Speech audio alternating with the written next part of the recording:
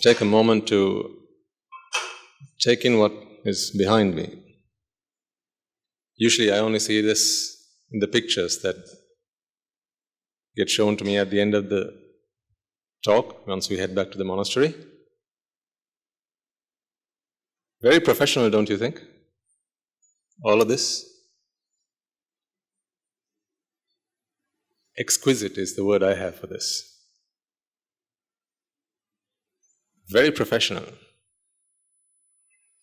You got to wonder why it is that people put in the time and effort to do something like that.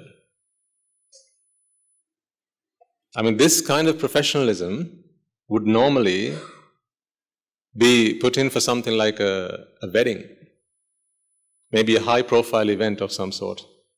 And usually these sort of things, they don't come cheap, do they?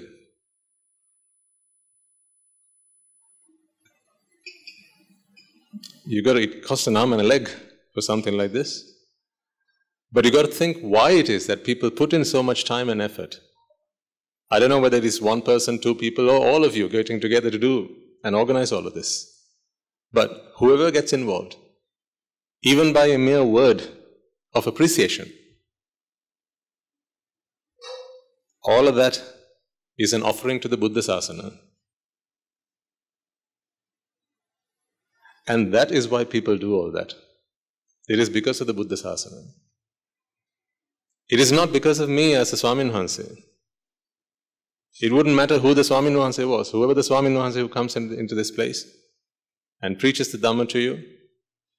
As people like yourselves begin to assimilate the Dhamma and it starts making an impact in your lives, it comes a point where we begin to feel, ladies and gentlemen, that no matter what we do, it's just not enough. How much is enough for what the Buddha has done for you? Go on, tell me. for all the sacrifice that he made, or many countless yawns. Because remember, this is a supreme Buddha we speak of. It is not someone who determines that I must aspire to Nibbana and free myself from suffering. It is not that. Perhaps a Rahatan Vahanse might be of that caliber. Maybe a Pacceka Buddha? Possibly. But a Samma Sambuddha is not like that. When he begins to make a resolve, once he starts doing the Mano Pranidhana, and then the Vachi Pranidhana, and the Kaya Pranidhana, these are the resolutions that a Buddha makes, or a Buddha aspirant, a Bodhisattva makes, to go on to become a Supreme Buddha. The way he resolves this, the way he makes his determination is through my hard work and determination, may I, this is what the, this is what the Bodhisattva thinks, on his way to becoming a Buddha, may I be able to help liberate all sentient beings from samsara and then me. That is his resolution. So, how much do you think is enough for what the Buddha has done for us? You know, when you do, how much do you feel you've done enough? So, as a monk, when do you think I'm going to be satisfied with what I have done for the Buddha Sasana? After how many sermons do you think? Am I going to feel, I think that's enough? After how many times of me coming to Rajagiri do you think it's going, I'm going to feel like it's, it's enough, that's enough? I've done enough. After speaking to how many of you do you think I'm going to feel that, you know what, that's enough? 100 people, 200 people, 300 people, that's enough. And in just the same way, ladies and gentlemen, you got to appreciate that all the effort that goes into all doing all this in that light. You know, people who do this kind of thing, all of this, you know, right from the individuals who bring in the refreshments, those who have invited you to come along and be here today, the gentleman who always comes and sets up the microphone, and who makes sure that you're all comfortable when you get here. It's not an easy task that he does. He doesn't get to spend his time here during the Dhamma talk. I always talk about him from time to time.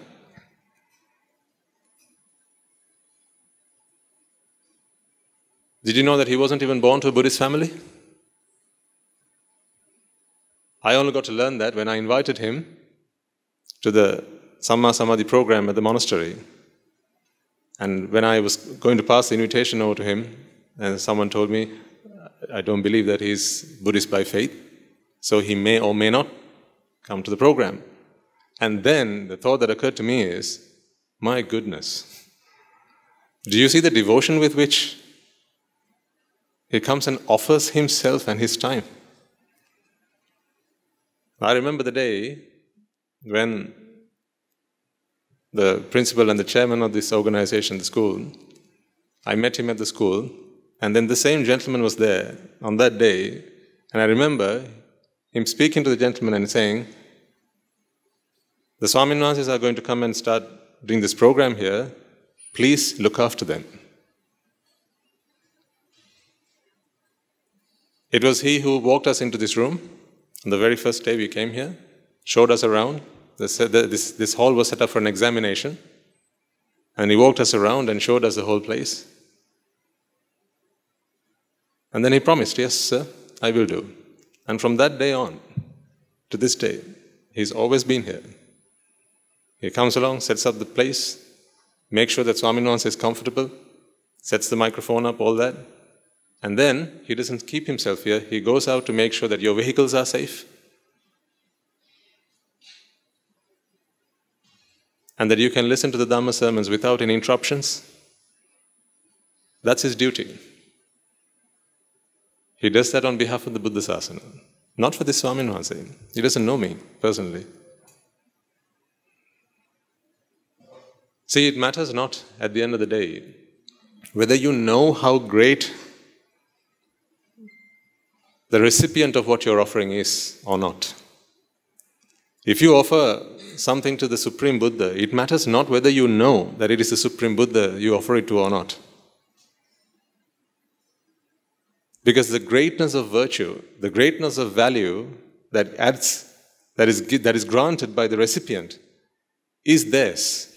All you need to know is you're making this offering selflessly, you're making this offering for something good. And how much that good is, is determined by the receiving party. If you kill someone, do you need to know that it's your mother or your father before it becomes a heinous sin? Do you need to know? You needn't. If you kill someone and it is your mother, even without you knowing it, that still is one of the panchanantariya papa karma. You, you needn't know that it's your mother you're killing. It's just the intention to kill is enough on your side. That's why the Buddha says intention is everything. Volition is your karma. So, in the same way, remember last week I mentioned to you, as you still have your parents with you, treat them with devotion, love them, respect them, and do everything in your power to look after them. Even if you didn't know they were your mother and father, it still adds a lot to your life. So, then what about when you do know? It magnifies because a merit done with wisdom, a merit done with knowledge, is a much greater merit than one done without. Because on your side, you magnify the intensity with which you apply yourself. And therefore, the merit power that comes out of that is humongous. And the same thing is going on here, ladies and gentlemen, don't you see? All of this is an offering to the Buddha Sasana. So when we do these sermons on a Sunday morning, I always want you to reflect upon that. It is not just the Swamin Vahanses arriving here who represent the Buddha Sasana. Everything that goes on here, everything. From setting down the chairs or setting out the chairs, someone must come around before you do, perhaps early in the morning, and sweep this place so that it's ready for you when, when you walk in. Someone, I'm sure, will go and check the toilets and make sure that they're all clean and tidy. Maybe there are janitors who come in on Sunday morning just for this program to make sure that this venue is set up for all that. But when you walk in, all you have to do is go and use the washrooms without even a thought about, about the fact that someone has actually come in to do all that before you walked in. There's a lot that goes on behind the scenes that sometimes we don't even know. But I remind you about this from time to time so that you can rejoice in them. In rejoicing in them, we can earn as much merits as the people who do them. Without fail, every week we've been coming here, there's been a venue available for us. You've never had to be concerned about the safety of your vehicles, have you? Anyone? No, never. You've never have to be con- you've never had to be concerned about whether you're going to have a comfortable place to sit and relax and listen to the talk and make use of the facilities when you need to? Never. How much did you pay to be here? How much is a ticket? These things are priceless because it is all done on behalf of the Buddha Sasana. You are also here because of the Buddha Sasana. You're here and you brought someone with you because of the Buddha Sasana. I'm sure there must be people among you who offer a lift to someone who lives close by, maybe someone who is unable to come here because they don't have a vehicle of their own. So I'm sure there are those among you who offer a lift. All done on behalf of the Buddha Sasana. The camera records all this, so someone offered a camera. I didn't bring it when I came into the sasana. This gets recorded, it gets put online. And once it's online, how long is it going to be there for? Hmm? For eternity. It's not like those days. What a pity it is that in the Buddha's era they didn't have video cameras. If they had them back then, do you think I'd be preaching to you right now? I'd be sat where you are, and we'd have a sermon up on screen. We'd be listening to him. Well, what a pity. But then there were the great arahants. They were the video cameras of then. Evang me sutang ananda tero says, Thus have I heard. So unfortunately, he was not a video camera, but he was an audio recorder. He recorded every word. Such was his memory. He could remember every word that was uttered by the Buddha, syllable for syllable. He regurgitated all of that when it was his time to do so. And the great Kashyapa Sometimes we know we don't give it enough thought, ladies and gentlemen, to think about the sacrifices that people have made so that today we have the Buddha Sasana. You know, it's the Buddha Sasana that I speak of here. It's not independence. Independence is a big thing. We celebrate independence every year, don't we? But this is something that goes beyond that. Independence Day is big for us because this is our nation, this is our country. But what about the Buddha Sasana? Who is the Buddha Sasana for? Sri Lankans? Indians? The Nepalese? Who's the Buddha Sasana for? Just humans? No. What about the Devas? What about the Brahmas? All sentient beings, every mind that suffers, the only resort is the Buddha Sasana. Any other faith can help you perhaps reach to the heavens, but that's the, that's the extent of it. What happens after the heavens? There are no answers to such questions. But today we know that you, although you might end up in heaven, usually after a while, after your merits have run out, you're, you're back down, either here or could be worse. That's what the Buddha has said. There are today beasts on four legs who used to be devas. Very powerful back then, but their merits ran out. This is the universal currency. It's not the money that you have in your pocket. The universal currency which is to be exchanged for any other goodness, any other comfort that you get in life, are the merits that we have all acquired and we continue to acquire. So, from time to time, I want you all to rejoice in all of the good that happens around here. Someone somewhere, we don't even know them by name because it's not, they're not doing it to become popular. That's a wonderful thing. I don't know the person who brings the, the gilanpasa. I don't know them by their name. I don't know who it is that offers the sandwiches, but apparently you get one every day. I don't know them by their name. They've never come up to me and said, Swamin Vahanse, do you know it is I who make, the, who make the sandwiches? Never have they done that. Why do you think they don't do that? Because it's not for fame or glory that they do it. Then what do they do it for? The Sambuddha Sasana. Sambuddha Sasana is synonymous with Nibbana. If there's no Nibbana, there's no Sambuddha Sasana. If there's no Sambuddha Sasana, there's no Nibbana. So they are synonymous. Nibbana is nothing other than freedom, happiness, unconditional happiness for all. And that is why they do it. If it's for unconditional happiness, someone does something, do they need to come up to me and say, Swamin Vahanse, it is I who do, do it? Do they? No. But you might have, might have seen, sometimes in other places, other people. They're very keen to come and make themselves known. Swamin Vahanse, did you know that it is I who offered the, these flowers? Do you know it is I who offered the, the robes? Do you know it is I who did the lights? A lot of places you go, they'll have their names printed on a plaque. Right? If a Buddha statue is offered, beneath that you'll have the name. If a Dhamma hall is built, next to it you'll have a plaque with their name on it. At our monastery, there are no names. None. Well, if you find one, it will simply say Sri Gautama Sambuddha. that is the only name you'll find. Some people often come and ask, Who's the Viharadipati? Even he doesn't go by his name. That's why we call him Guru Hamdro. Because we are not here to leave our name, we are here to leave a legacy, not the name. The legacy is the Buddha Sasana, the path to liberation. What do you need more, my name or the message that I have to give you? Which one, which one interests you more? Which one helps free you from suffering? Who I am or what I have to offer you? Which one? Tell me. Which one helps free you from suffering? Which one brings you great happiness and joy? Who I am or what I have to offer you? Well, there you go then. If it's what I have to offer you that helps you free yourself from suffering, then what does it matter who I am? Then what does it matter who you are? By your name.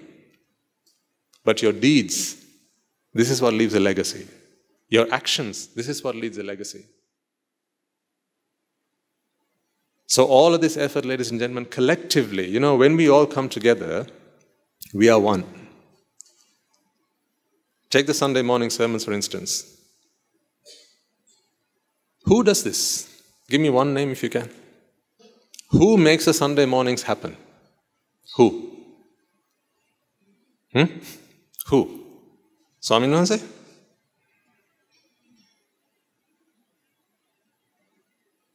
Who? The person who does the decorations. The person who puts the water up here. The gentleman who invites the to deliver the sermon. Who? You can't give a name. You can't put a name to it. But when we all come together, now we have a result.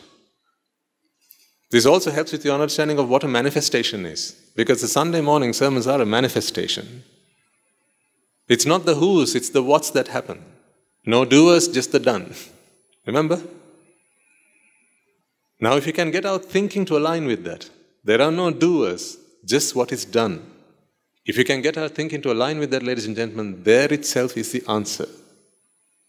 The reason we all suffer is because we always want to attribute actions to a doer. We feel that there has to be an individual, a self who does something, and a self who doesn't do something. Now, if it's an action that we desire, we like them. If it's an action that we don't like, we hate them. But if you can see past that, through our insight and through our wisdom, if you can see past that and simply see good and bad, not who does it and who doesn't, then we realize that good we need more of. So we act on that behalf, we lobby for that, we advocate that. And then there is bad, if there's bad happening in the world, then we try and stop that from happening.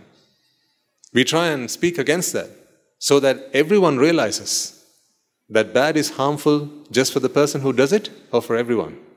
It's for everyone. And who is good good for? Just the person who does it or for everyone? For everyone. There you go then. This is the coming together of everyone's effort. Therefore, it makes no sense to put a name next to it. That's why no one says, It is I who do, who do it. And that really speaks volumes about your understanding and the cause to which you have committed yourselves. That is the Buddha Sasana. If you want a name, the only name that I can offer is the Lord Buddha. But beyond that, there is no name. Because we are here for a namaskara. A namaskara is the nama askara. We are here to eradicate the name and leave just the actions, just the legacy. So then, before we begin, let us do that namaskar. Let us make our resolve. Let us bring our palms together in veneration of the Buddha, the Dhamma, and the Sangha, the purpose that we are all here for. That sublime goal and that ambition, that inspiration that has brought us all here today, and that has helped us to see beyond our individual selves and see the greater good that we are all here to achieve. So let us chant the Namaskara, seek refuge in the Noble Triple Gem, observe the precepts, and begin with today's proceedings.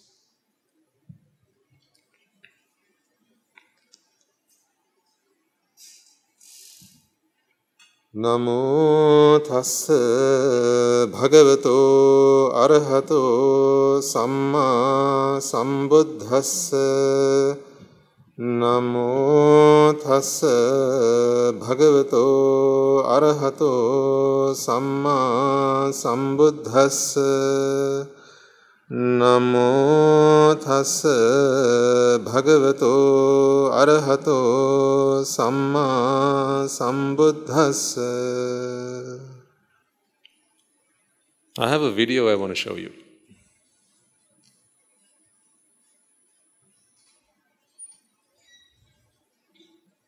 I'd like to show it to you right at the beginning. Because then it'll help you to figure out the value of the Buddha Sasana and what your purpose should be of being here and associating with the Buddha Sasana. There are seven wonders in this world, isn't there? You've all learned at school We've all done that. The seven wonders. Name me a few. The Great Wall of China. It's a great wonder, isn't it? What a great wonder. I believe it is the only man made structure that's visible to the well, it used to be, I don't know now. Maybe they can see the Burj Khalifa from the moon now, I don't know. Can they?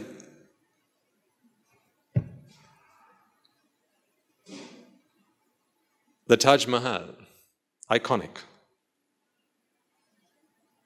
A great wonder. People gaze upon these structures, these man made structures, and they wonder how, how, or how could such a feat have been possible? Don't they? That's why we call them wonders. It rouses wonder within us. We are so utterly impressed when we see them.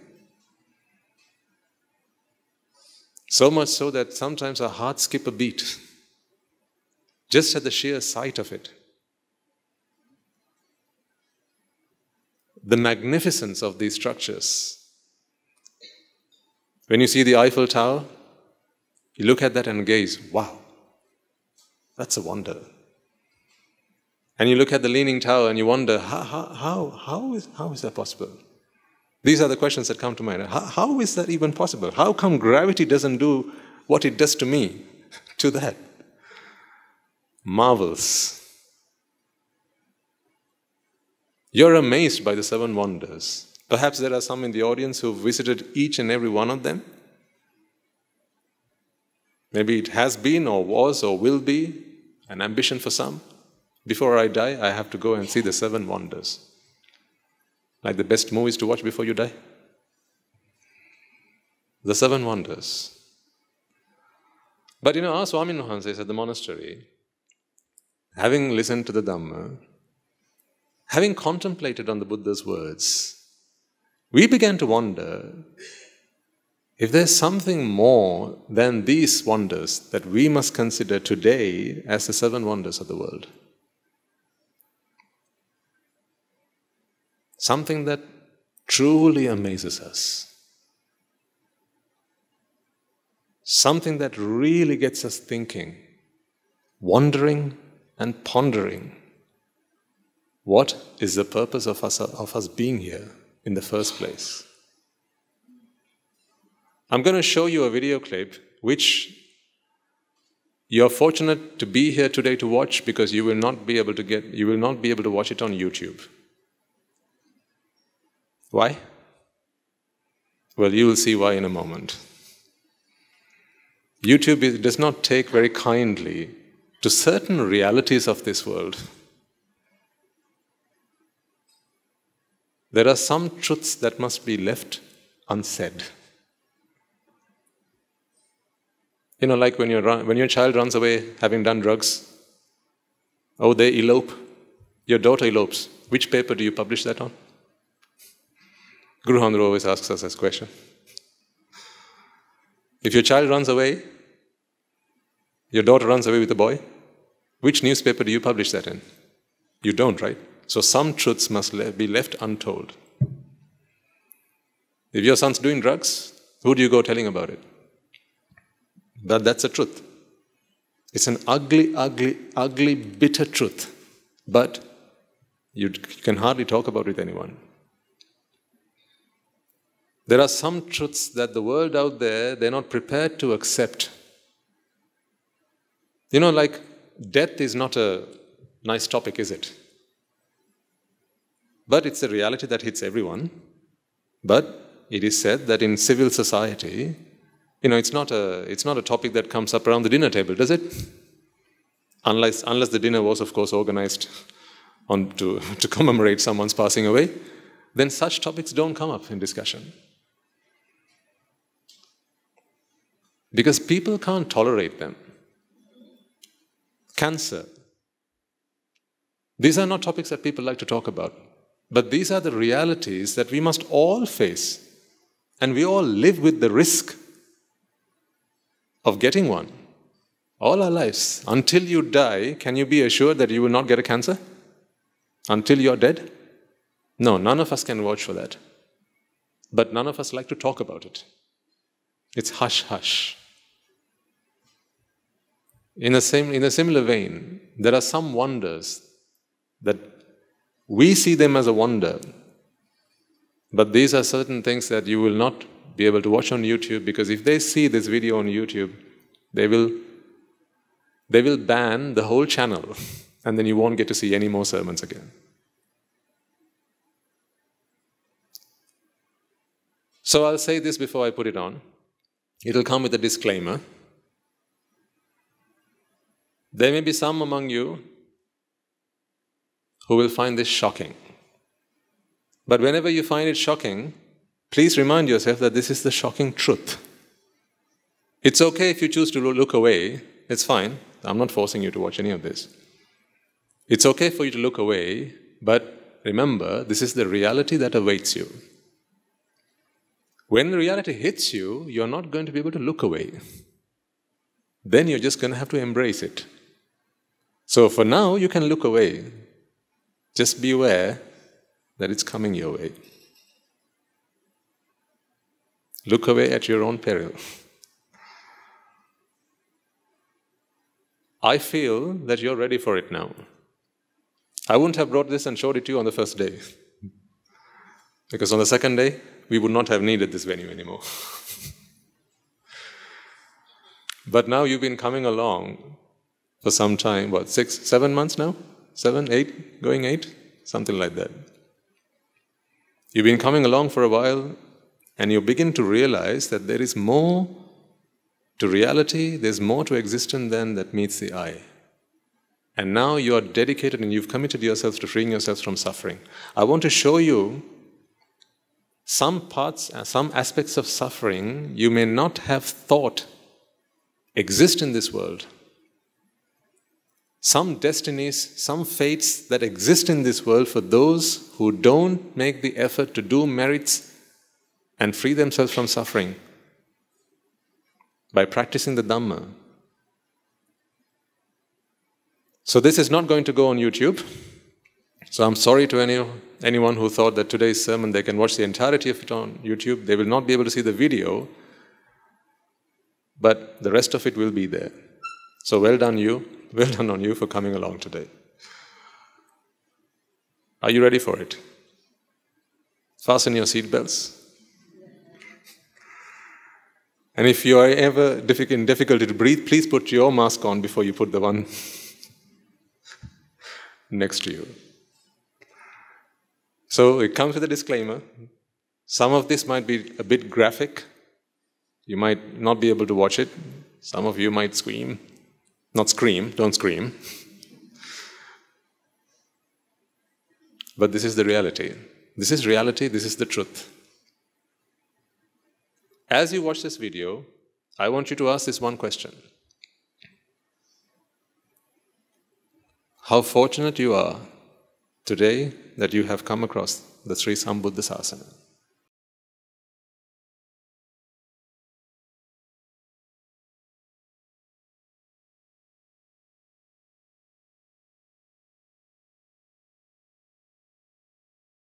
Whose story do you think that was?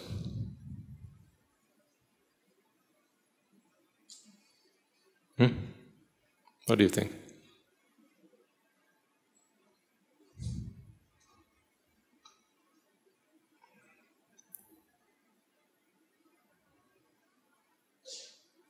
Just think about it. Now you see why that can't go on YouTube? This is the harsh reality that people will not want you to learn about. The Buddha knew what he was saying when he said, Rare indeed it is to be born a human being. He doesn't just say things, he says it because he knows it. You've been born human. Look at yourselves, fully formed. You got intelligence about you. But how many times did you die? How many times might have you been miscarried? But these things you don't remember now. If you believe that samsara was, is a reality, if you believe samsara is true, then that is the journey that you came on. Today you're here and you've forgotten all that. the time that we all spent in the four great hells, ladies and gentlemen, that is, I think, why we, it seems that we are so familiar. we spent far, far more time in the four great hells together than we've ever done in the human, the human realm. Because time here is what, eight years? 90 at most? But time in the, in the, in the four great hells is the same, but not in years, but in eons. Don't take my word for it. I'm sharing with you what the Buddha said. If this is false, then the Buddha was false.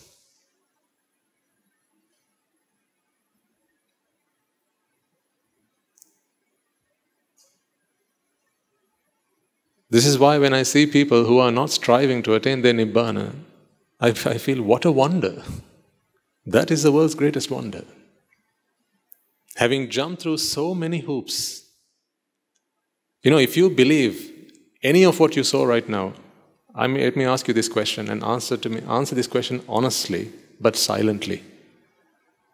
Do you feel you're doing everything you need to do for yourselves today? To save yourselves from that?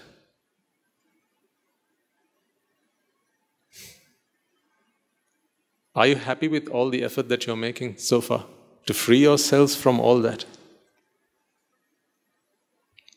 You know, you wake up in the morning, you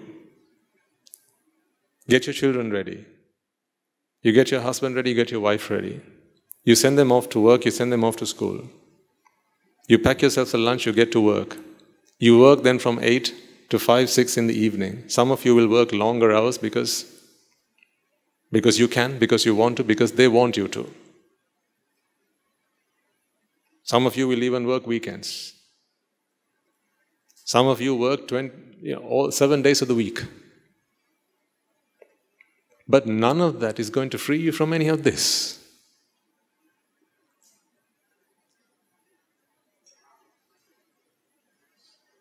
Then, when you get a free day, you go on a trip. When you have a free evening, you sit down, you put your feet up, and you watch a film. When you feel like it, you go out with your family and have a meal. You go to a restaurant, enjoy yourself, go on a world tour, a trip once in a while. I have nothing against you doing that. And I don't speak out of envy. I hope you know that. Now Swamin Vahanse can't do any of those things. That's why he's making reference to these. No. Swamin Vahanse says that that is the destiny that awaits you. That's the fate that awaits you. So I ask you this question Are you, do you honestly feel that you're doing enough to free yourself from this? Yes, I'm a monk and you're a layperson, but we both have the same test at the end of the day. It doesn't seem fair. I know it doesn't seem fair. But I can't change the rules of the game. As a bhikkhu, I have committed my entire life to this cause, to freeing myself from suffering. You come here on a Sunday morning. Not one seventh, one fourteenth of your week you spend with the Dhamma. One fourteenth of your week. What about the other time? You keep on doing what people have said is what you're supposed to do. But no one told you that this is your reality. This is what awaits you. These are not things that get discussed around the dinner table. These are not things that your friends will talk about you when you invite them for tea. But this is the reality. Don't you want to save your children from this? Don't you want to save yourselves from this? Your poor mother, she's on her bed. She's pulling her last breaths. Maybe she has another three weeks, maybe a month, a year. Most of your mothers will probably have maybe another five years, maybe 10 at most, not any longer. For all the things that she has done for you as a mother, this is what awaits her if she doesn't become a Sotapanna.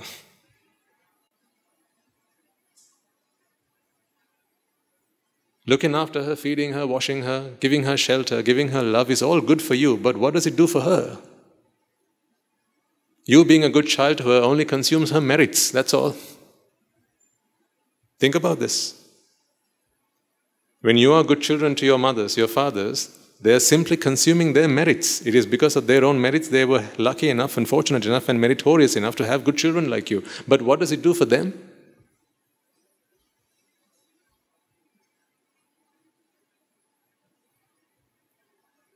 A few years ago, a few generations ago, at least when people were older, they began to be more interested in the Dhamma, to work on their salvation. But nowadays, even they have ways and means to be preoccupied. Now you have Netflix at home. You don't need to bring your parents to the temple. Not even on a Poya day must you take your mother or father to the temple. And even they can't because you are too busy. They can't go, they have to be driven. They're too weak to drive, but you're busy. But this is what awaits them. They were a whisker shy from being born in the four great hells. What good if it, would, it, would it have been if you were born an animal? Have you seen the stray dogs on the roads? Hmm? Have you seen the cows walking up and down? You know, sometimes they get struck, they get hit by moving traffic, and then after that, no one cares. No one cares to stop because everyone's busy. Now, who do they share their pity with? Who do they share their, their agony with? Who's there to look after them? No one. What if that happens to you?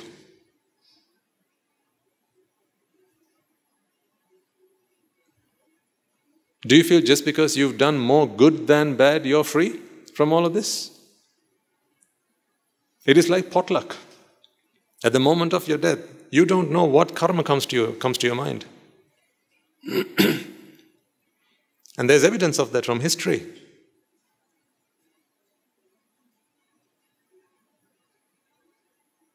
Unless you become a Sotapanna, ladies and gentlemen, there is no refuge. There's no getting out of this.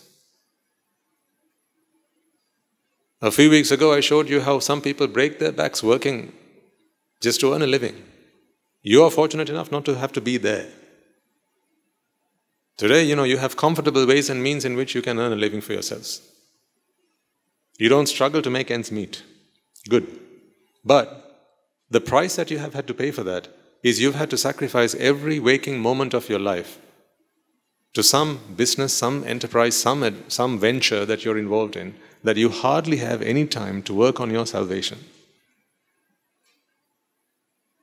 I'm appealing to the good sense that I believe is within you. Wake up to reality. Many people who thought that they lived holy lives, they died and they're nowhere to be seen in the human world. Not in the Deva worlds, not in the Brahma worlds. It is not I who said that being born human is rare. Choose to ignore anything I have said, but it is the Buddha who has said, being born human is such a rare occurrence. And even when you're born human, what if you're born human like that? Did you see that young that, that baby, the child, who was born with some, some sort of condition, and you know, how are they going to live their lives? That is still human. You've jumped one hurdle, but for how long? And the way the world is going, people are getting, people are ending up with unwanted pregnancies far more than they used to back then. What if your next birth, you are born, uh, you are, you are born into uh, the womb of a mother for whom it's an unexpected pregnancy?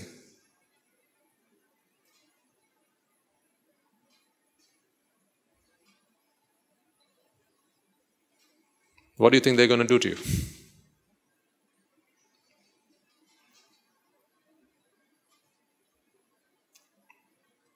Those days it was so taboo, no one spoke about it. And people feared, so people feared God. But now people don't believe in God.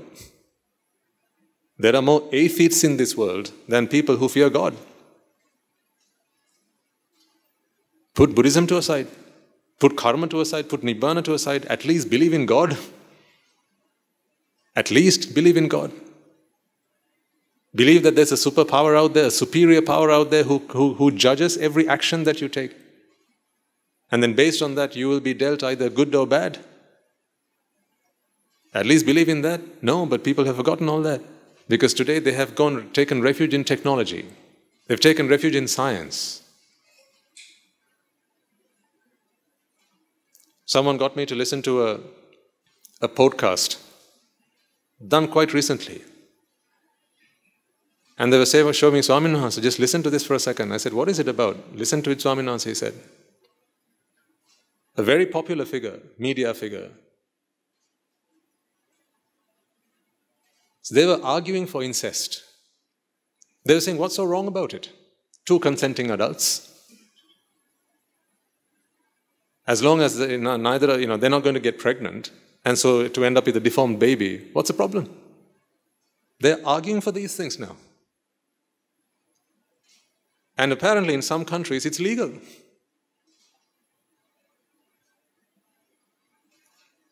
My problem is not with incest, because karma is karma is karma, that's all.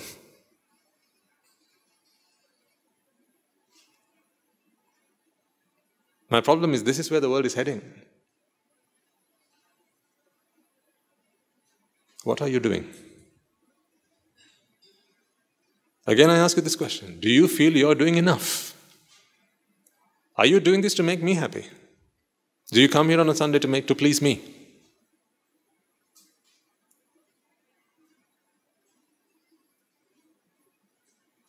Who are you trying to please? Who are you trying to free? Because this is the fate that awaits you. Our young children don't know any of this because they don't teach this for science. They don't teach this for geography. They probably don't even teach this for philosophy. But what good is it, ladies and gentlemen, if you make a professor out of a young child over the course of what, 10, 20, 50, 25, 30 years. And yet, after they are dead, they go back to the, into the animal realm and be born as a preta. What's the point of having becoming, becoming a professor? What's the point of landing on the moon if when you die and you're born again, you're in the four great hells? What's the point?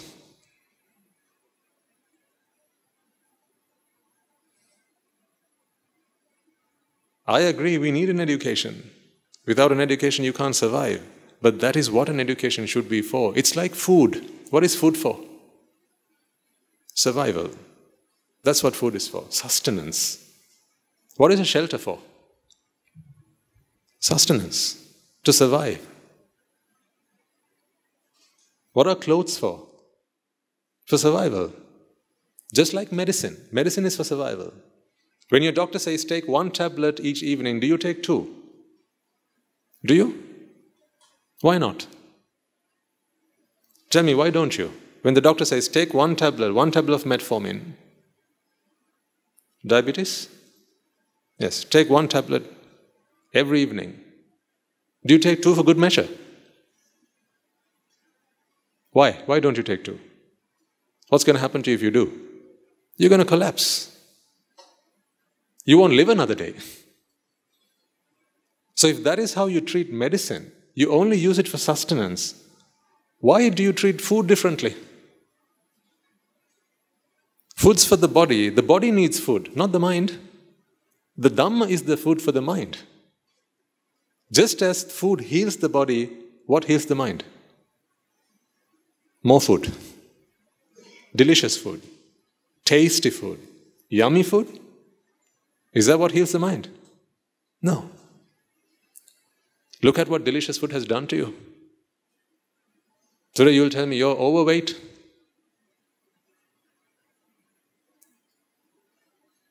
Obesity is a big thing. A lot of young people, they have to, they, they suffer from this. Because they couldn't stop at what the body needs. But I'm, what I'm trying to explain to you, ladies and gentlemen, is look at what people put themselves through because this they don't get to hear. They don't show this stuff on TV because it would not be a popular channel. It would not be high in the ratings. When you watch this, when I had already warned you beforehand, I heard a few and ha's. That's okay. That's perfectly fine. You're not going to have this on mainstream TV, are you? People will not want to watch this kind of thing. It's shocking. So, what will people do if they see this on TV? Quickly change the channel to watch what? Some girls dancing.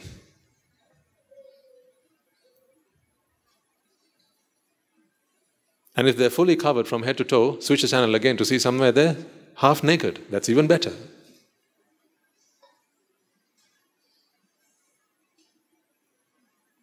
That stuff is okay on YouTube. Not having a go at YouTube, by the way. YouTube is there to serve the needs of the people.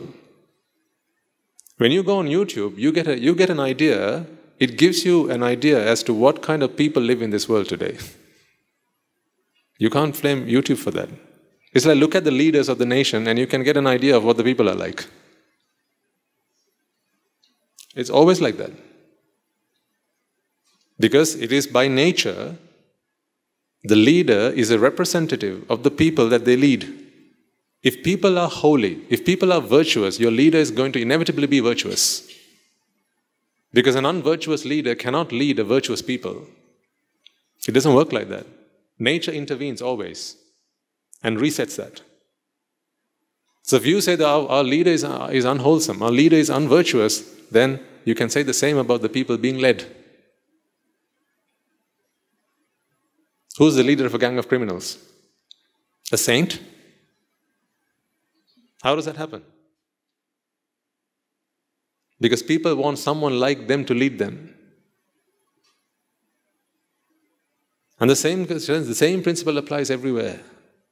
You will not see this stuff on TV because that is not the kind of stuff that people want today. People just want something to scratch their rash of karma something that pleases the senses. That's all people want. They don't realize that having been born with the senses itself is a miracle.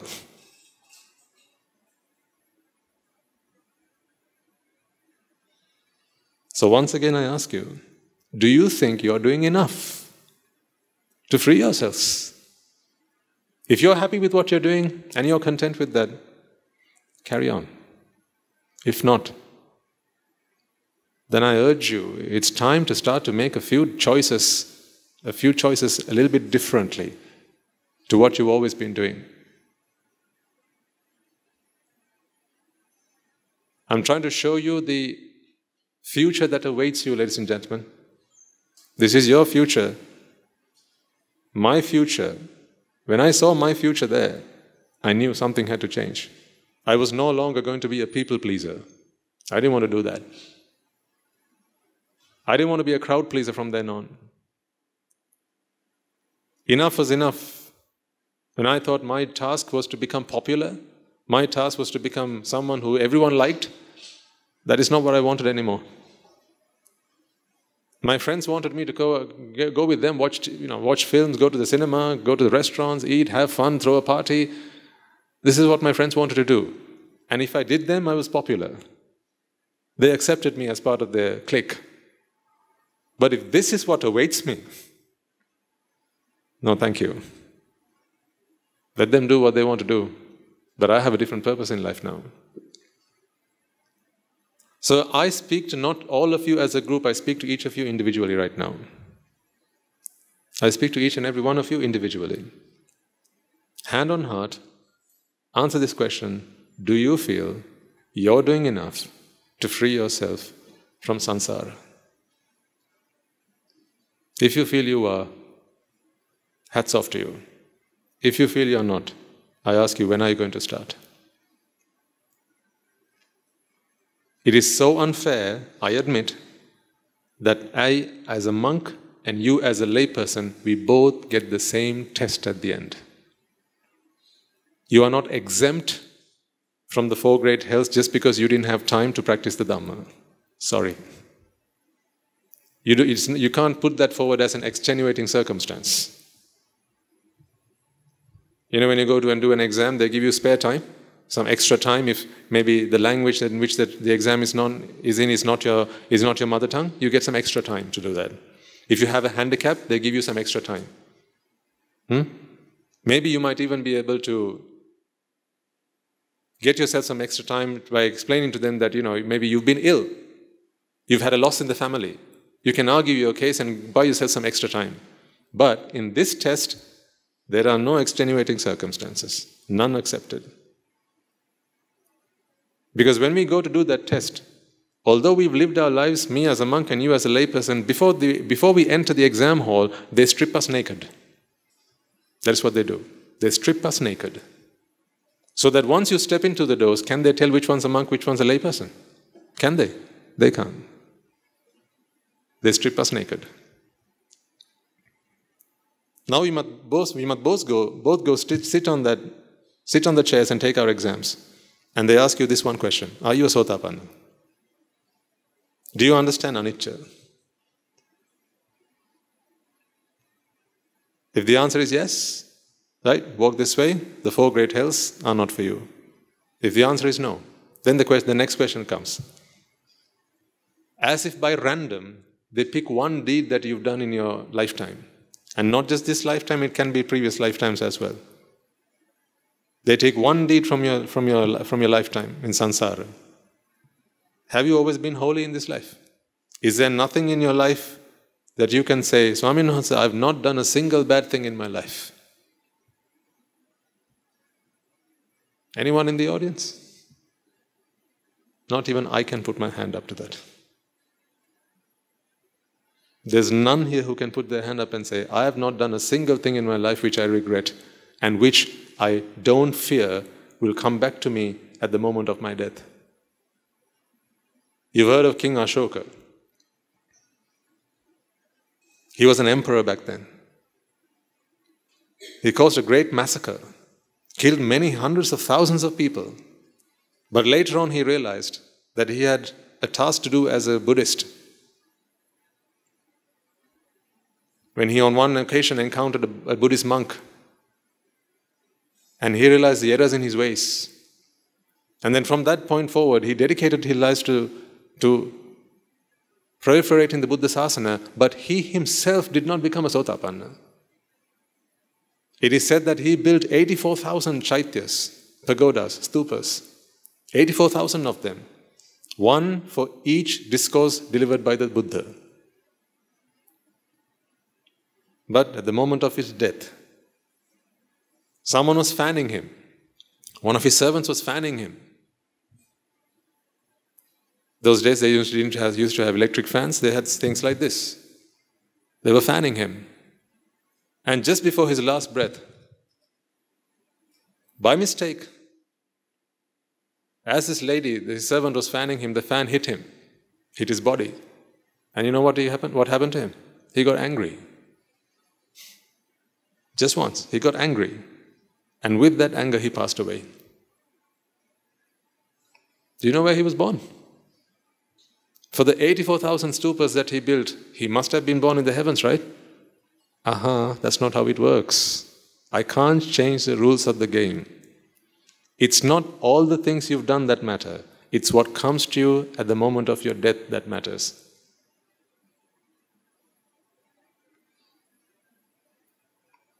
So then you'll ask me, Swamin Vahanse, how do we how do we change what comes to us in the moment of our death? And then you'll tell me, Swaminas, I remember, I remember, I remember. When my old mother, when she was frail and she was in her bed, we used to play Pirit. So that she would continue to listen, listen to the Pirit as, as she passed away. Or we used to have a, a Buddhist channel on TV so that she would watch the Dhamma sermons as she, as she passed away. Doesn't count. It, it's good, it helps, but doesn't count. Because here's what happens in the moment of your death, all your senses shut down.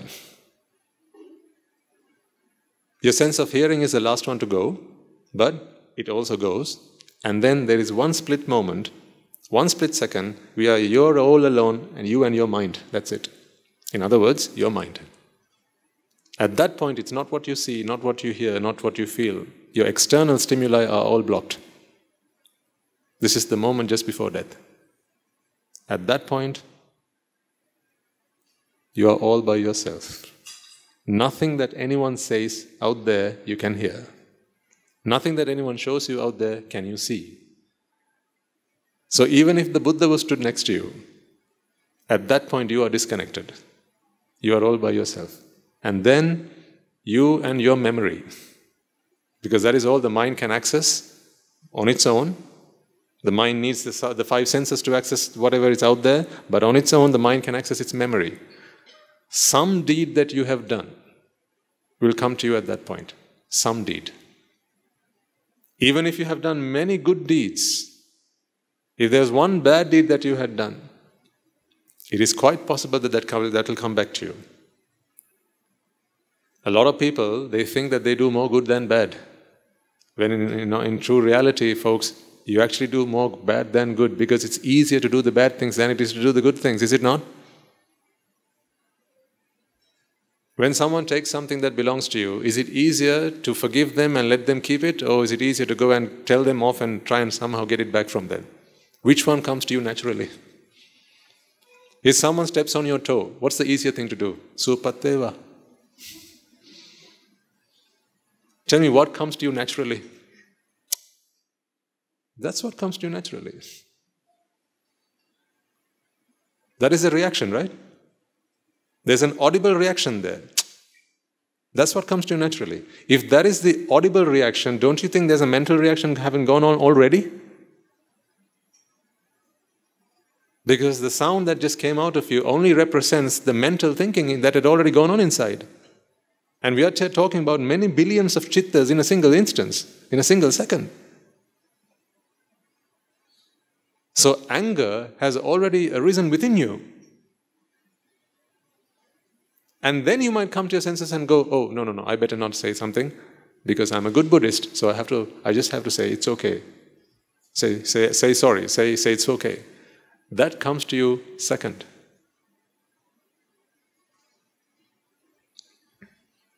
because we are still practicing. But then, what does becoming a Sotapanna help you do? So, as a Sotapanna, will you not be remembered of some of the bad deeds you've done in your past? You will. It's also possible. Even as a Sotapanna, you could be remembered. It, you, it might come to memory some bad deeds you've done in the past.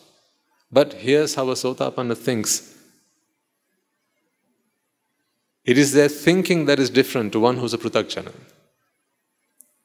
Whilst a Prutakjana is someone who thinks the world is Nitya, Sukha, and Atta. In other words, their purpose of life is to make themselves happy at any cost. They suffer from lobha, they suffer from dvesha, and they suffer from moha. So, conflict and desire are the two main ways in which they deal with the world out there. So, these are the two options that they have. But a Sotapanna, even if something bad that they've done comes to them in the moment of their death, the Dhamma that they have understood will come to their protection. That's why they say Dhammo have rakkhati Dhammachari. The Dhamma that you have understood will come to your safeguard. At that point, the Dhamma will take forefront and it will prevent you from having thoughts of anger even if the memory comes to you a memory of something something bad you've done or someone having done something bad to you it will prevent you from being angry if someone if you are remembered if you are reminded of say a sensual act that you've done maybe maybe you maybe adultery was your thing. No one knows. It's a secret. But a secret is never a secret from whom? The one who does it. It's never a secret. So all of those secrets are in your memory. And sometimes, you know, you, you try and get them off your mind, but they keep coming back to you. You know what I'm talking about. If you've ever cheated on your, on your spouse, on anniversary day, it always comes back. always comes back. Comes back to haunt. These things, they hardly go away. Always comes back. So on the moment, at the moment of your death, this is another thought that can come back to you. You cheated. You slept with another man's wife or another woman's husband. The thought comes to you. But if you are a Sotapanna, in that moment, you see that in a very different light. You only think of it in a way that does not arouse within you lust and desire. You are remembered of this occasion, just like looking at a bunch of flowers. Just imagine if you could look at these flowers but not think that they're beautiful. You see the flowers, but you don't see the beauty within them because the beauty is not in them. In the same way, a fragment of your, of your, of your memory will come to you Something from your memory will come to you, but your response to it is going to be different. So, lust, desirous thoughts, those things don't arise in that moment because your understanding as a Sotapanna comes to safeguard you, comes to your safeguard. This is why it is so important to become a Sotapanna because we've never, we've not lived our lives like saints. And I'm only talking about the things we've done in this life. Even if you choose to ignore the things you've done in your previous lives because you can't remember, and besides, there's nothing you can do about them now, what is done is done. But somehow or other, you did something that gave you life as a human being in this birth. That much you were able to do, and you have done. But who knows, ladies and gentlemen, what awaits us in the moment of our death? Who knows? So, even if you don't believe in the four great hells, but you believe in God, even if you don't believe in the Buddha, but you believe in God, I tell you, God will judge you. Because there's no secret you can keep from Him. Karma will judge you. There's no secret you can keep from karma. And when judgment day comes, we are all alone and nowhere to run, nowhere to hide. That is why it is so utterly important to commit as much of your lives as you possibly can to the purpose of becoming a Sotapanna. You heard those last words on the video. To be born human is, a, is, is very rare indeed. To come across an era in which a Buddha was born is so rare indeed, ladies and because without a Buddha, how can you ever become a Sotapanna? To listen to the Dhamma is so rare indeed. When did you actually start listening to the Dhamma in your lives? The Dhamma that helps you to attain Nibbana, when did you start listening to it and actually become serious about it? All your lives? You have an answer, right? When did you start? Only the last maybe six months for some, maybe a year for, for others, maybe two years, five years at most. So, the vast majority of your life you did spending what? Doing what? Raga, Dvesha, and Moha. Are you going to tell me that when you're dead you're going to be born a Deva? You spend 30, 40, 50 years of your life doing Raga, Dvesha, and Moha, nothing more than that. Yes, you've done the odd meritorious deed, but you know, even preparing for the meritorious deed, you know, sometimes you get together as a family and you take alms to the Swamin Vahanse. Yeah, you do a maybe you do a, a yearly alms giving at the at, at, at the temple. Let's say that is what you've been doing regularly as, as a meritorious deed. When you go and offer the, the alms to the Swamin Vahanse, if the Swamin Vahanse doesn't have what you want you want to offer now, so you're walking in queue, you want to serve what you have you have brought, and Swamin Vahanse says no, thank you. The local Hamdra says no, thank you. You go to the next Hamdra. Next Hamdra says no, thank you. None of them take what you have offered. How are you going to feel at that time? How did you feel? I ask you. Take a trip down memory lane. At that point, all the joy and the happiness that you, have, you had in your heart in preparing for that alms giving, what happened to it? It was like a deflated balloon. That's what you felt like. And then you start asking yourself, no, why did I bother?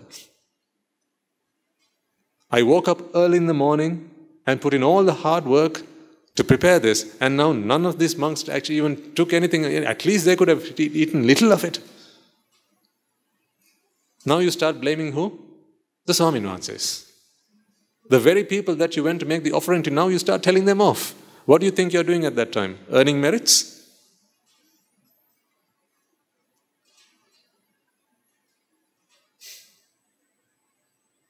See? Even when you prepare yourself to do a meritorious deed, if you are mindful enough, ladies and gentlemen, you will spot what I'm telling you. You do more demerits than merits. It's like the price that you have to pay to do the merit. Even at home, you know, people get together, then, you know, so you invite your families, you invite your relations, right? Maybe you and your neighbors to come and cook the meal. Right? Someone bumps into you. Again, you go what? See, you've got together to do a meritorious deed. But how many instances of demerit do you actually do in preparation, in, in, in, as you plan and prepare for the, for the meritorious deed? And then if you go into the temple, right, and you see that the temple is, you know, nicely built, they have tiled floors, and, you know, it's all very nice, then you go, oh, they have. They have a lot. Why do they need our charity? Now again, you start passing judgment, you start criticizing the temple, you start criticizing the monks, you start criticizing the Buddha, you start criticizing the whole sasana. Actually, when you come, come to think about it, at the end of an almsgiving, you have, for, for every merit you have earned, you've earned about another hundred demerits because of your lack of understanding. Ignorantly, we do this. Because we are not mindful. We do this. We don't think about it.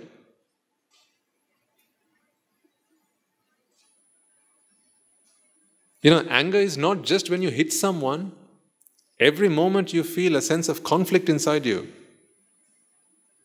All of that is anger. That is dvesha. Every moment of conflict is a moment of dvesha.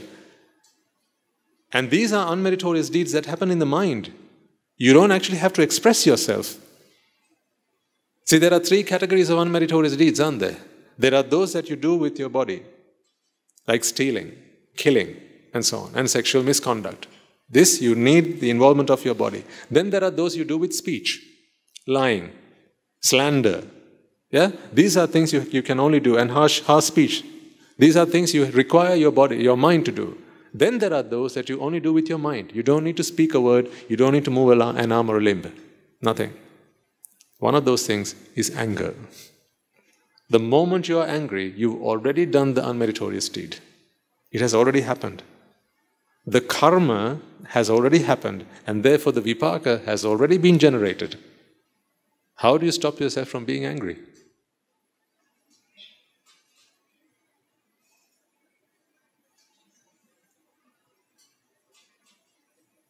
For all the times you've complimented your parents, how many times have you told them off?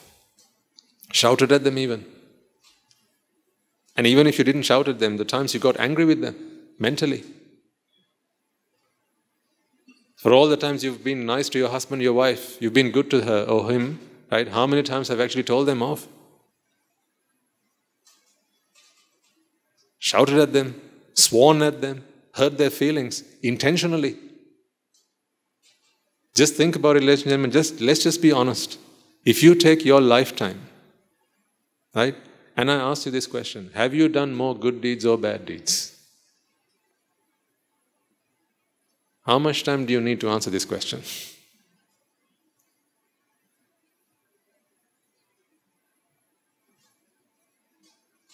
How many times did you take away that pen that you had at the office? You took it home to give it to your children.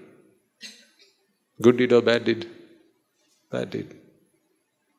Every time you throw a wrapper on the floor, you buy a toffee or chocolate, something from the, from the shop, you put it in your mouth, but you put the wrapper on the, on the ground. What do you think that is? That is again a demeritorious deed. Because you're defiling.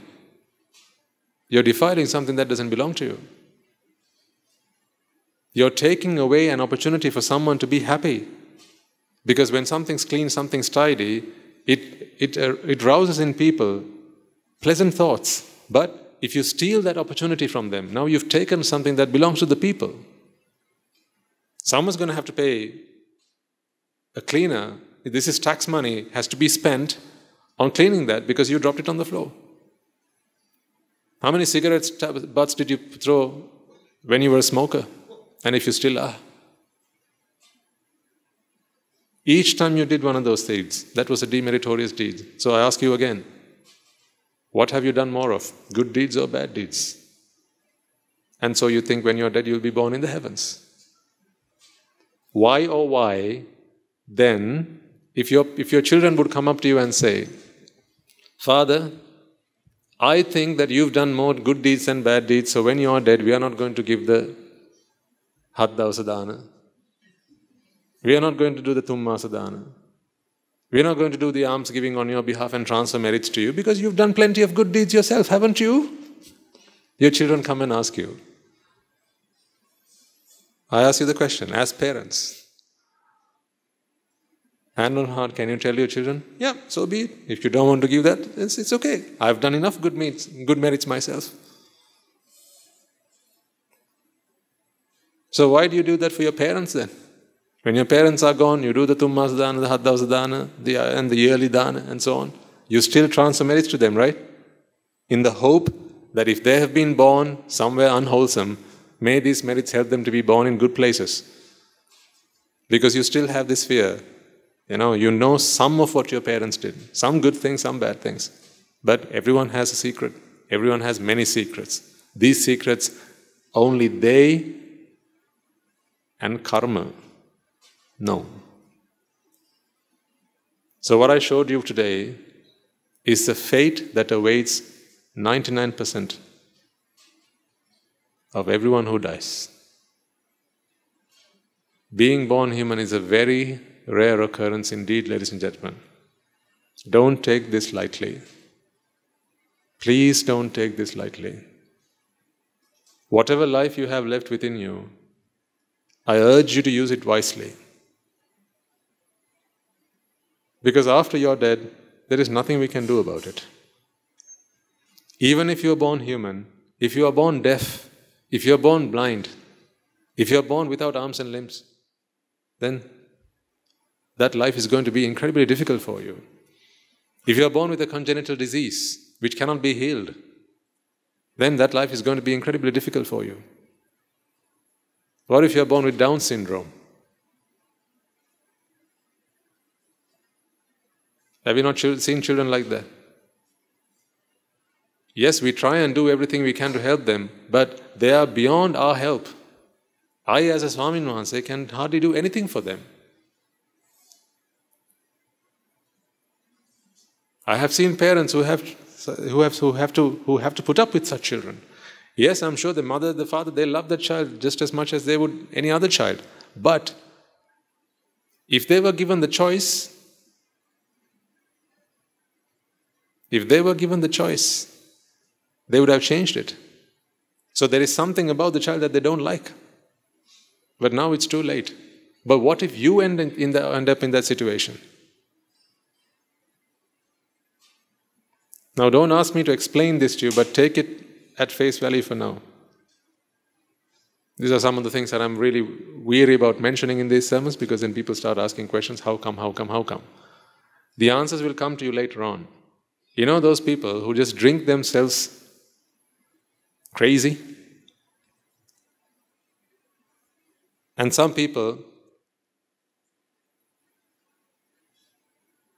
who intoxicate themselves to the point where they lose their sanity and they behave like crazy people.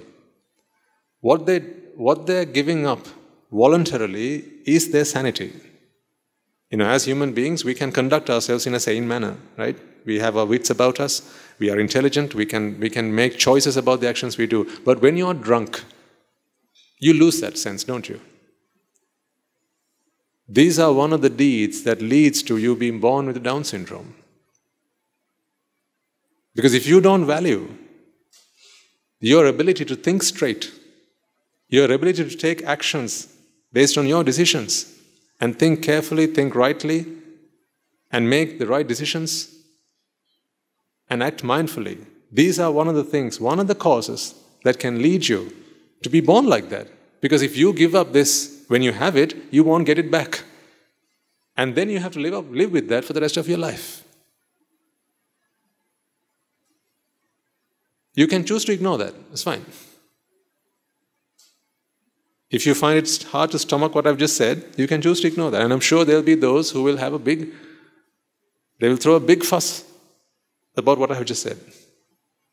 I say, How dare you say something like that? Are you saying that my child was a drunkard in his previous life? Only because they feel insulted. My intention is not to insult, my, my intention is to free you from insult. But then you got to call a spade a spade, right? So we have to be very mindful, ladies and gentlemen, about the actions that we take because every action has a consequence. Every action has a consequence.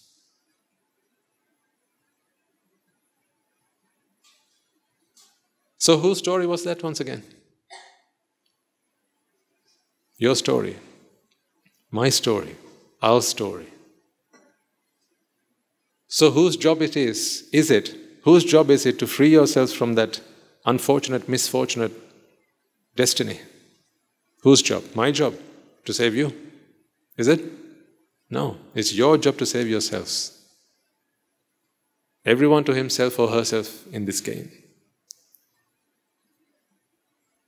And one last time I ask you this question Do you feel you're doing enough to save yourselves from the misery that awaits?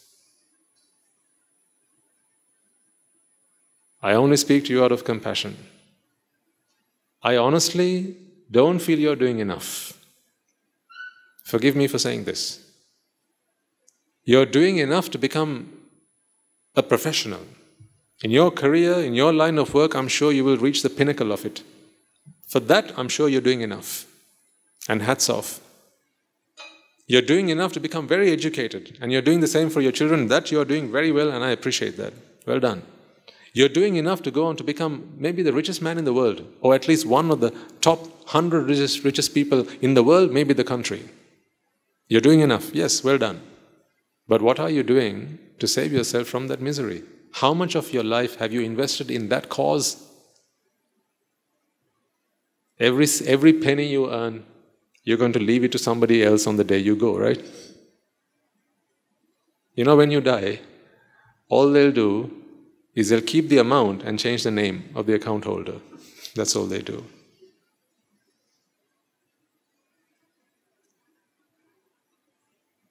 That's what they do. It's like the termites. They build a mound. They work hard day and night. They work together as an army and they build a mound. And then once they do, the termites are out and the serpent creeps in. And now it becomes a serpent's house, not the termites. It's just like that. You work hard, you build up a business. And when you're dead, they'll take your name out and put someone's name, someone else's name on it. Nothing remains for you. I'm speaking on your behalf. Do you understand that? Do you agree I'm speaking on your behalf here? Because no one else seems to be doing that. Everyone wants to get something from you. Everyone wants to get something from you. Who's here to give something to you? Your children want something from you. Yes. Don't they? From head to toe, they wanted to get something from you. They took your milk from you. They took your blood, sweat, and tears from you. They took your money from you. They took your property from you. They took your, they took your name from you. They took your glory, your fame from you. They got a place in society thanks to you. And now they're okay. What did they give back to you? You live hopeful that one day, you know, when you're old, they'll look after you. What else? You tell me, well, Swaminasa, they, you know, they were very respectable children. They grew up, they got a good education, and they brought me fame. They brought me glory. And today I'm happy to be their, their father. They, I'm happy to be their mother. Is that what you came into this world for? Has that saved you from the four great hells?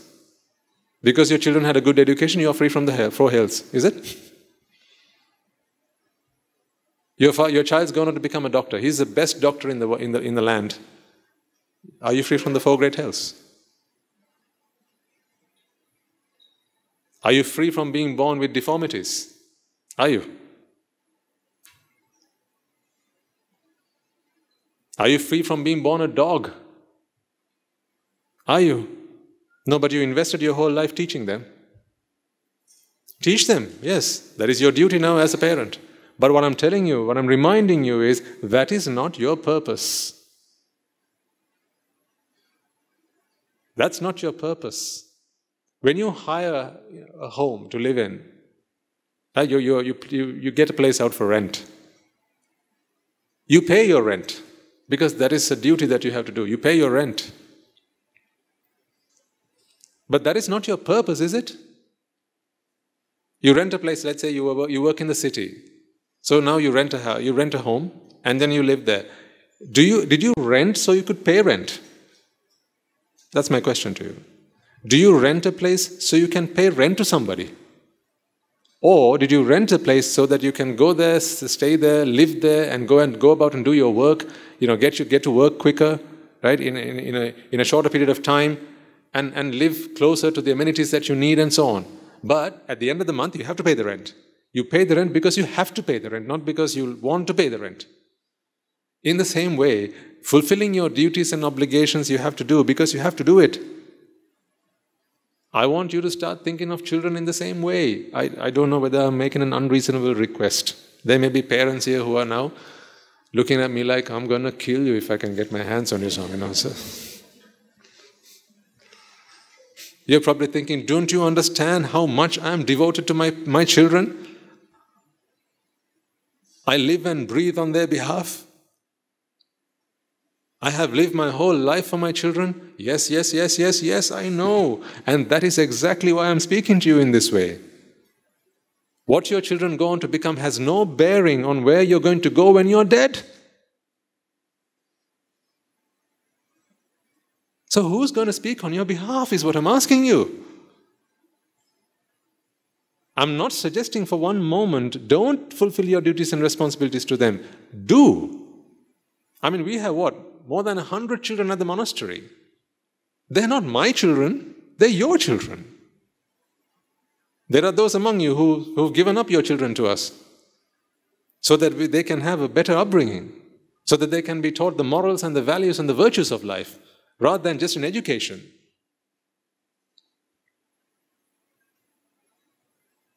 Thirty more are joining us in two weeks' time. I think by that, by that point we'll have about 150 young children at the monastery. We give them a good education. We do. But we know that that is not the be all and end all of their life. So I'm not for a moment then suggesting that you must not teach your children, because if I was suggesting that, I wouldn't do that, would I? I practice what I preach. So I give them, we give them a good education, but that is not all we do. After all is said and done, I understand that only what I have done remains for me. What I have done for myself is for me to take with me. That's it. The Buddha preaches this. He says to the monks, Bhikkhus, bear this in mind, he says. Attadattam parattena. Bahuna pina kape. Attadattam abhinyaya. Sadatta. He says, what he means by this is, during your, during your time as a monk, you will be doing things on behalf of other people. But don't make that the be all and end all of your life. You will do things to help your devotees. You will be doing things to help society. But don't make that the be all and end all of your life because remember, when you have to take that exam, you will be stripped naked. At that point, I'm not going to be able to say, but, but, but, but, but, I went to Rajagiri every Sunday. I've done so many sermons. Can you not give me a chance? No. The question will be Have you become a Sotapanna? I said, But, but, but, but. No, no, no, no, no, but. Just, have you become a Sotapanna? Yes or no? It's a very small box, so you can't write a description in it. You can only put a Y or an N, one letter. A very small box. You can't write so and so and so and so, this because of this, because of that. Mm, it doesn't fit. Only one letter, either yes or no. If it's a yes, then they say, right, please walk past the doors to the four great hells because that is not for you. If it's a no, then they open the big fat book. Right, let's go through this then, shall we? Let's look at all the bad deeds you've done and find a fitting place for you. Let's be honest with all of us. We've done more bad than we have done good. Face the facts, ladies and gentlemen. Don't be shy, don't be embarrassed to admit that because if you do, it's like going to the doctor and the doctor asks what's wrong with you. Because you're embarrassed, you say nothing.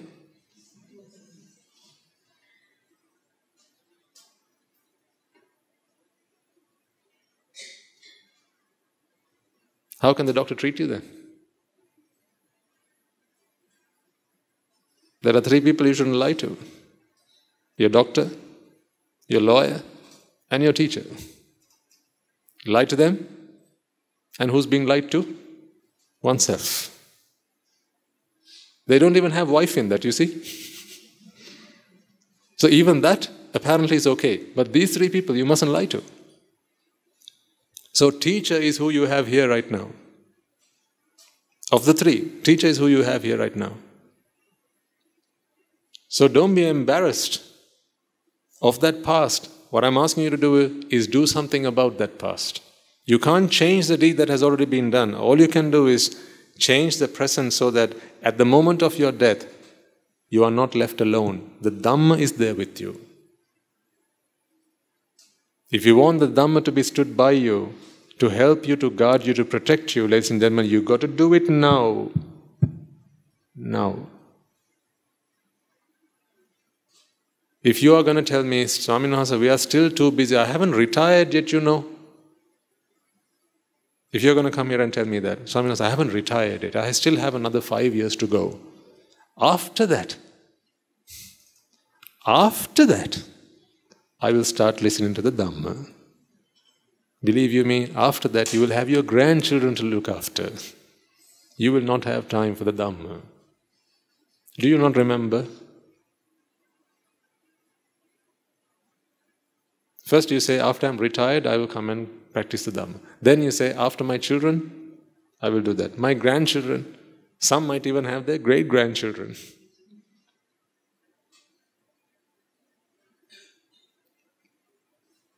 There's never an end to this. There's, there's a, there are a hundred and more reasons as to why and how you can procrastinate your nibbana. But the inevitable fate, that doesn't go away. Are you doing enough?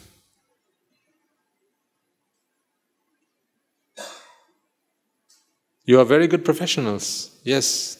You're good teachers, yes. You're doctors, yes. Engineers, yes. Lawyers, yes. Scientists, yes. Businessmen and women, yes. Entrepreneurs, yes. Politicians, yes. Leaders, yes. Yes, yes, yes, yes. What about working on yourself and working towards your salvation? Because they don't ask you what profession you were in at that point. They only ask you, are you a Sotapanna or not? And it doesn't matter whether you're a Buddhist or you're a Christian, you're a Muslim, you're a Hindu, you're an atheist, you're non religious, you're a skeptic, you're a scientist. Doesn't matter. Are you a Sotapanna? That's the question they ask. It's not like Christians get dealt one way and Buddhists get dealt another way. It's not like Muslims get dealt one way and the Hindus one way and the Muslims and the Christians one way. No, it doesn't get dealt like that. We are all dealt the same way. We all get painted with the same brush and served with the same spoon.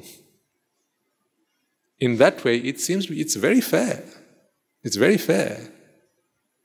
The karmic judicial system is very fair. Because there you can't escape based on who you know. Sometimes with the law, I don't know, I'm probably going to be contempt of God by saying something like this. No, not the law, not the law. In some places, right, you can get by because of who you know. But where the karma and vipaka is concerned, you can't, you can't do that. It doesn't matter who you know, who you don't know. It's what you've done and what you haven't done. That's all. So let us make sure that we take on the Dhamma. So you have a friend in your last moment. You know your husband's not going to be with you, right? Ladies, do you think your husband's going to be with you in that last moment? They can stand by you, maybe. They can hold your hand, maybe. But remember, in that last moment, all your senses are going to be shut down and you are going to be isolated. You're going to be in solitude. You won't even know that your husband is stood next to you. No one. In that moment, you can only have one friend. One friend alone. And that is the Dhamma. I want you all to have the Dhamma by your side so that you are never left alone. And for that, you have to start making friends with the Dhamma now. You know, the Dhamma is a funny kind of guy. It takes a while to make friends with him. It takes a while. You can't just, you know, just before the day of your death, you know, go see the Dhamma and say, hey, I'm dying tomorrow, do you mind coming around? They don't do like that. It takes a while for you to get to know them. But once you've built that relationship, they never, they never go away. They're always there. This is the friend indeed because they're always there when you need them. The Dhamma is the friend indeed. They never betray you. Every other friend will betray you. You know, a lot of you have lots of friends. Aren't you ever in any doubt, even the slightest doubt, that one day they might betray me? When you need them, they may not be there. Is there, is there a single human being on this earth, on this planet, that you can say, No, Swamin Vahanse, that person, they'll always be with me no matter what? The funny thing is, you can't even say that about your husband or your wife. Because even those relationships, they are conditional. When the conditions are right, the relationship will survive. Once the conditions don't exist, the relationship falls apart. Isn't that why people get divorced? Because even a marriage is a conditional relationship. What about mothers and fathers? Children? Even they are conditional relationships. There are some parents who will completely disavow their children. There are some fathers I, I, I know who've completely given up on their children because they say, Swaminatha, I told him not to. He started doing drugs. Now we have completely disavowed him. He's not part of the family anymore. We don't talk to him. We have, we have severed all relationships with him. I don't consider him to be my child anymore. If he would come home, I would chase him away. I would ring the police on him. There are some fathers who have come up to me and said that, see, this is a father son relationship. Only lasts as long as the conditions last. Again, conditional. So, if even that sort of relationship is, is also conditional, then every relationship in this world is a conditional relationship. So, every friend you have, I'm not saying they're bad. I'm not saying they're bad. You just need to understand the na- their nature, that's all. All things in this world are conditional. All things. Only your understanding of the Dhamma, once you've understood it, it's always going to be there with you. Your understanding of the Dhamma is you becoming a Sotapanna. Once you have become a Sotapanna, that never goes. It always stays. Even after you're dead and you're reborn, the understanding of the, that, that level you have achieved as a Sotapanna stays with you. You may not remember what you learned. You may not remember the Dhamma that you learned to become a Sotapanna, but your achievement of having reached the fruit of Sotapanna stays with you. Because becoming Sotapanna is merely your perspective on life, on all things in this world. So even if you're born as a Sotapanna, but you don't remember any of the things, only the Dhamma you've learned, you may not remember the words Anicca, and Anatta. You may not remember the word Buddha. But you will look at these flowers, you'll see the arrangement, and there'll be something in your mind that says, Isn't this just an arrangement? You may not have the words to describe it. Because you have not come across this word called manifestation to describe it.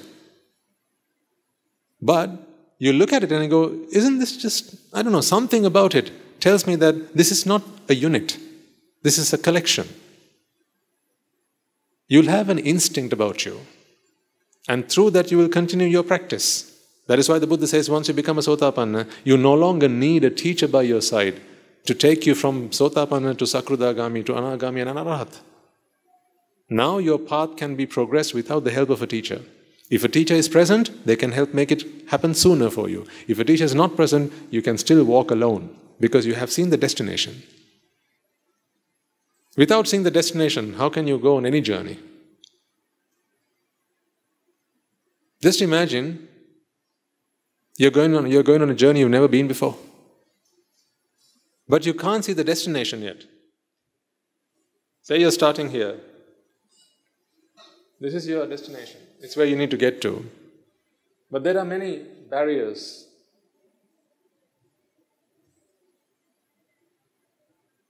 So, you know, you could, if, if you walked without a guide, you could get lost because you could end up going this way. You could end up going that way and many other ways. So you need a teacher. But if your teacher walks with you to this point, if your teacher walks with you, with you to this point, now you see the destination. From here on, you no longer need a guide because you have seen the destination. A Sotapanna is someone who has seen what Nibbana is. Once you have seen your destination, no matter what other barriers and blockages are there in your way, once you have seen the destination, you can now walk on your own. They, might, they may encourage you if they're always with you. They might inspire you. They might ask you to hasten your journey. They might support you, making the journey quicker, but you no longer need one. That is why becoming a Sotapanna is so crucial, ladies and gentlemen, because as the Buddha said, Kalyanamitta Sampatti, association with the Noble One, is a very rare occurrence indeed. Because this is a Kalyanamitta. A Kalyanamitta is someone who shows you what Nibbana is. Once they have shown you what Nibbana is, you no longer are reliant on the Kalyanamitta themselves. Now you're on your own. You can do it on your own. But let me ask you this question. Today we talk about Nibbana. We talk about unconditional happiness. When did you first hear these words? At age 5? 10? 15? 20? 25? 30? Just think about it.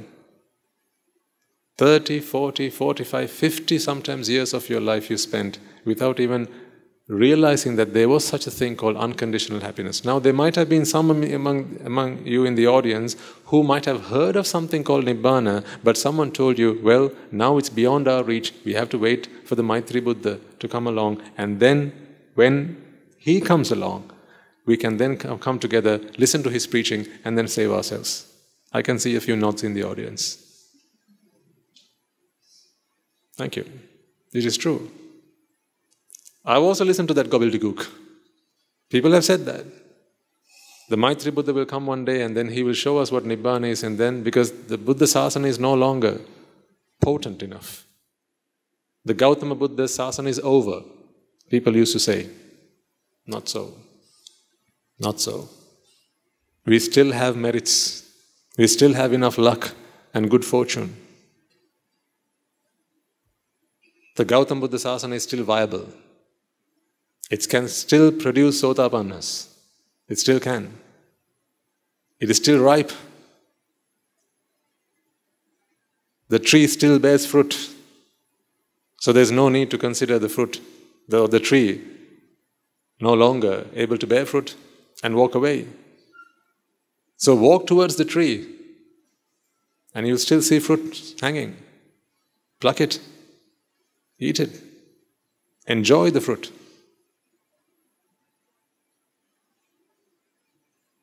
All you need is to understand the Dhamma.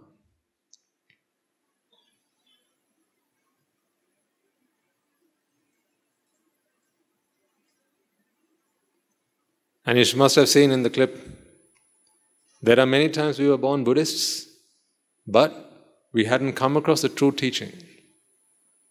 There are a lot of things that get done in the name of Buddhism today around the world. You might have heard there was a gatha that was sung in tune what was it? Etapi Buddha Jayamang? Gala, that, that one, right? Yes.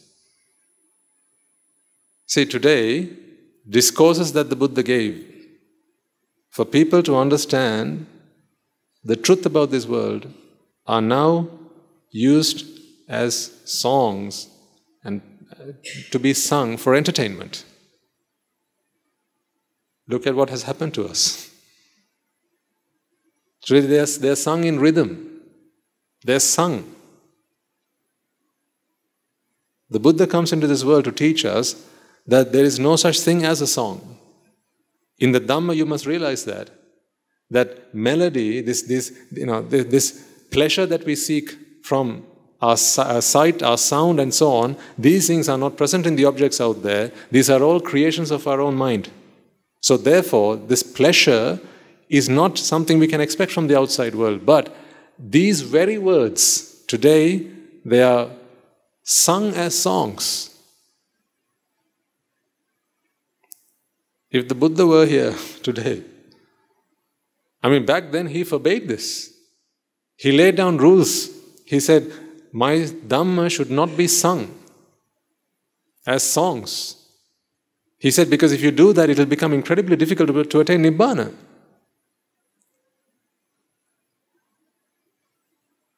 But today, we seem to do that willy nilly, without a care in the world. Sometimes people might even go and ask Swamin Vahanses to do that.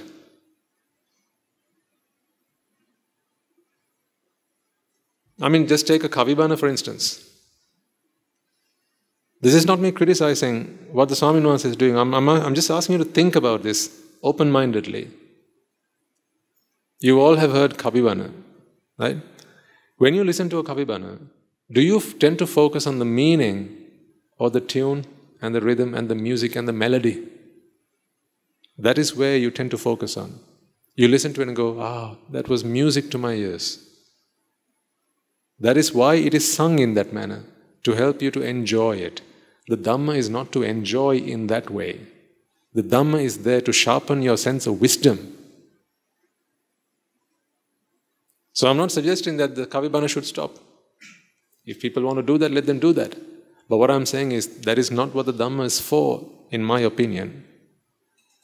The Dhamma should not be dealt and handled in that way. If in listening to a Kavibana, you, you start to enjoy it like a you know like a lullaby. Like your mother used to sing you know nursery rhymes to you. If that is what has become with the Dhamma, then attaining Nibbana is going to be so incredibly difficult. So when you find yourselves in these situations, just you know, again have your wits about you. Don't go with the flow. Don't do what everyone else does. Because then you'll also become very average. And the average bloke, the average guy, ends up in the four great hells. Because that's where most people end up. So I appeal to you, I urge you to start thinking outside, you know, what is normal today in the world out there. A lot of the things that are normal are not really normal. A lot of the things that people accept are what we should be doing with our lives is not what we should really be doing with our lives. We have become victims of that. What society has been feeding into our heads, we have just been gobbling all that up without any discernment of what is right or wrong. And so, therefore, suffering has become a part and parcel of our lives. So, if you want to free yourselves from suffering, treat the Dhamma with respect. But treating with respect doesn't necessarily mean having a Tripitaka book at home and you know offering flowers to it and Hanum Guru and all that. That's not what I mean. To treat something with respect is to make that part of your life. That is what treating it with respect actually means. If you treat your parents with respect, then embody the values and the virtues that they have instilled within you, or they have tried to. That is treating them with respect. If you, te- you know, go up to your teachers and ask them, I would like to treat you with respect. What do you think the teacher is going to tell you? Do as I say, right? That's what your teacher is going to tell you. So if you want to, if you want to, if you want to treat the Buddha with respect, what do you think the Buddha is going to say? Do as I have taught you. How do you treat the Dhamma with respect? Do as the Dhamma says. How do you treat the Sangha with respect? Do as the Sangha says, so that you can become Buddha, Dhamma, and Sangha within you. That is the greatest mark of respect that you can show.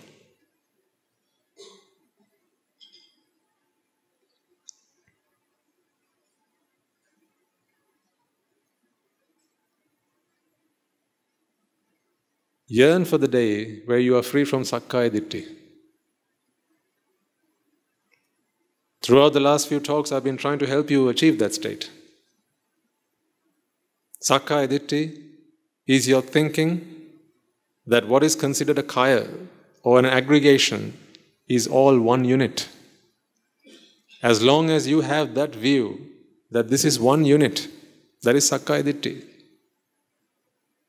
Kaya is an aggregation. A collection is a kaya. That's why your bodies are called kaya.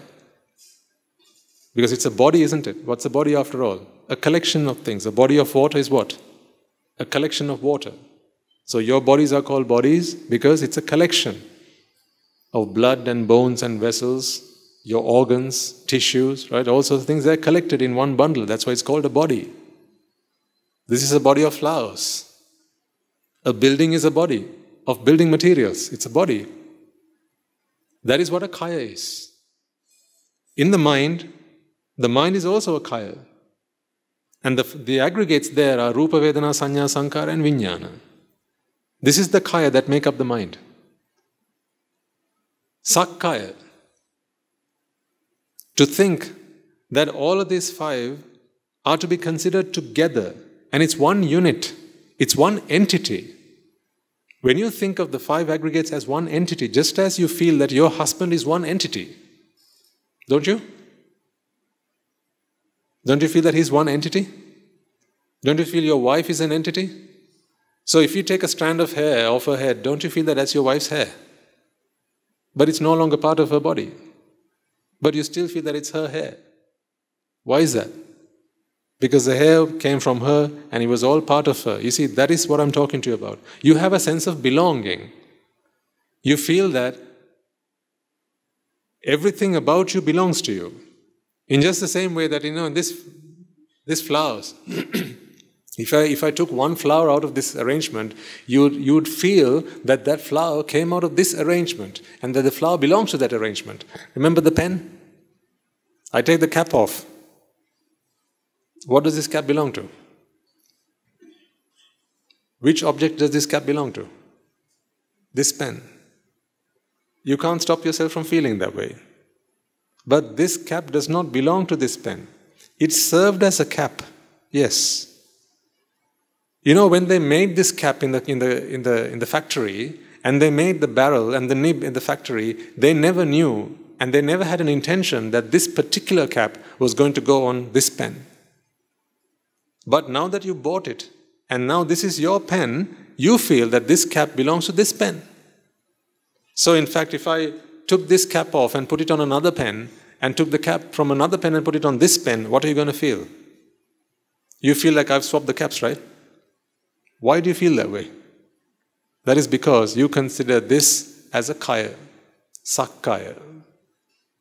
That is your ditti. That is a view, that is only a view. That is your sakkaya ditti. The day you break free from that, you are free from sakkaya ditti. All I'm talking about is the view, not the feeling that comes from within. The feeling that comes from within will go uh, once you become an Arahatan Vahanse. But the view, that will go when you become a Sotapanna. In fact, the, the doing away with the view itself is your first step into Sotapanna, into the stream. Vichikicha, Silapada, Paramasa, they all come as part of the package. I'll explain to you next week. How? When Sakkaya Ditti happens, Vichikicha and Silabada Paramasa, these three cankers, which keep you bound as a Prutakjana. Because it is when you dispel these three, Sakkaya Ditti, Vichikicha and Silabada Paramasa, you become a Sotapanna. One of the easiest paths to understand is the Sakkaya Ditti, and this is what I'm helping you to understand right now. You can't help but think that this cap belongs to this pen, right? That is your Sakkaya Ditti. This cap belongs to this pen. Why? Because all of this is one unit. This kaya, this aggregation, is a satkaya. In other words, a unit, a body, the whole thing is a body, an entity. This entity based thinking is Sakkaya Ditti.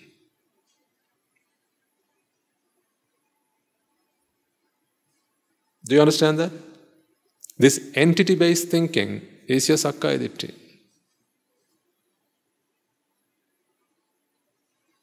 See these betel leaves that you have so nicely laid on this, on this tray. Don't all of them belong to this arrangement? Don't you feel that way? You feel that way, don't you? In fact, if I took one of these If I took this away, don't you feel like I've taken this from this? I'm not just talking about the action of taking this away and walking away with it. I'm talking about the sense of belonging that you have. You feel that this leaf belongs to this tray, this, this arrangement of leaves. This, the, the natural place for this should be here. So that's why when someone takes something that belongs to you, you say, Hey, give me back, that's mine. In this world, there is nothing that is yours except for your perception that it is yours. Is your husband yours?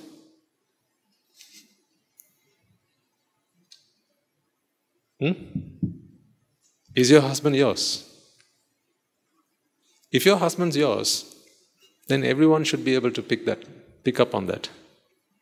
If two people walk walk the street, right? Two people randomly, they know that one is the husband, one the other, the other is the wife, but only they know that. But no one else knows. Why is that? Say a couple, they're walking along the street, right? But they're approaching each other from different opposite directions.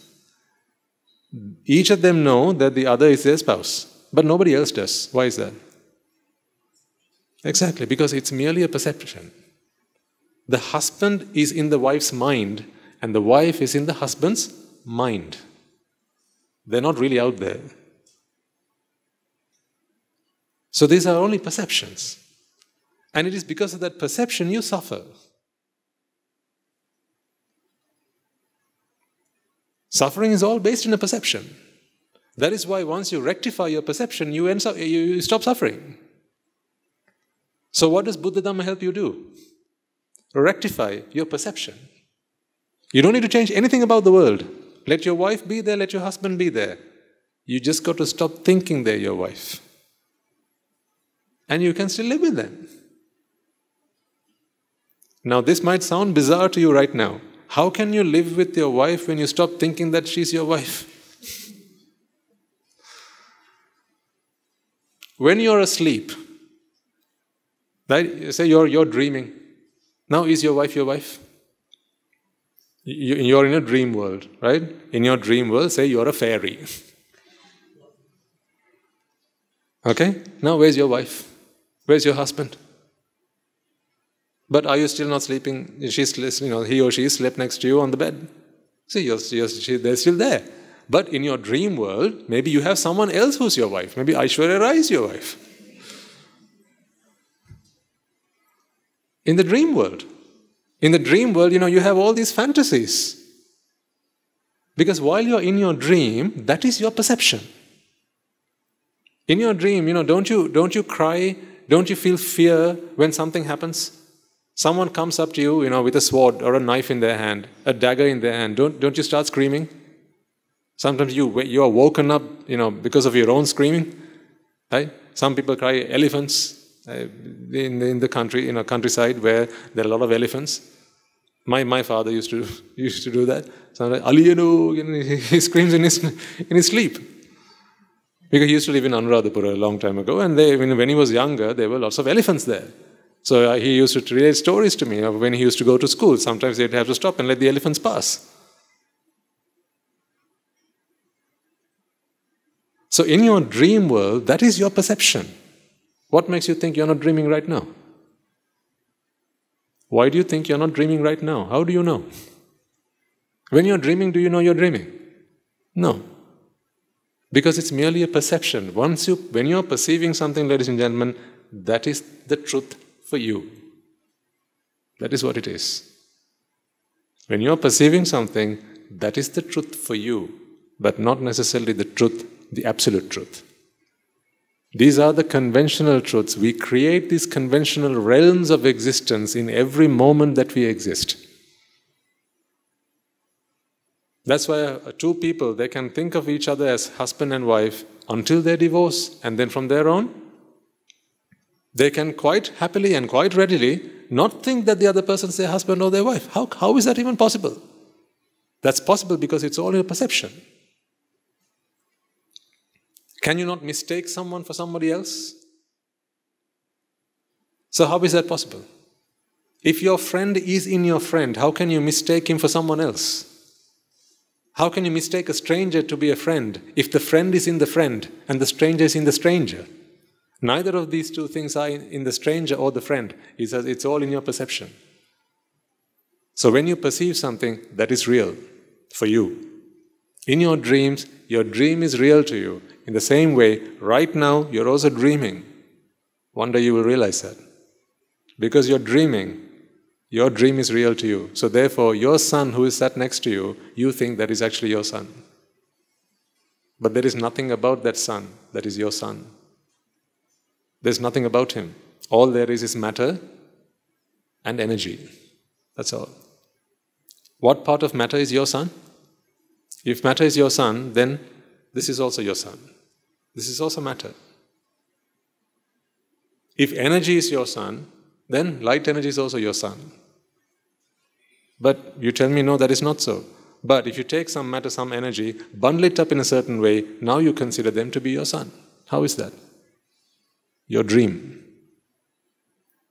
That's why they say Vijnana is like a wizard, is a magician. The Buddha says Vijnana is like a Mayakarya, is a wizard. He creates all these, he does his wizardry and creates a fantasy world in which you like to live.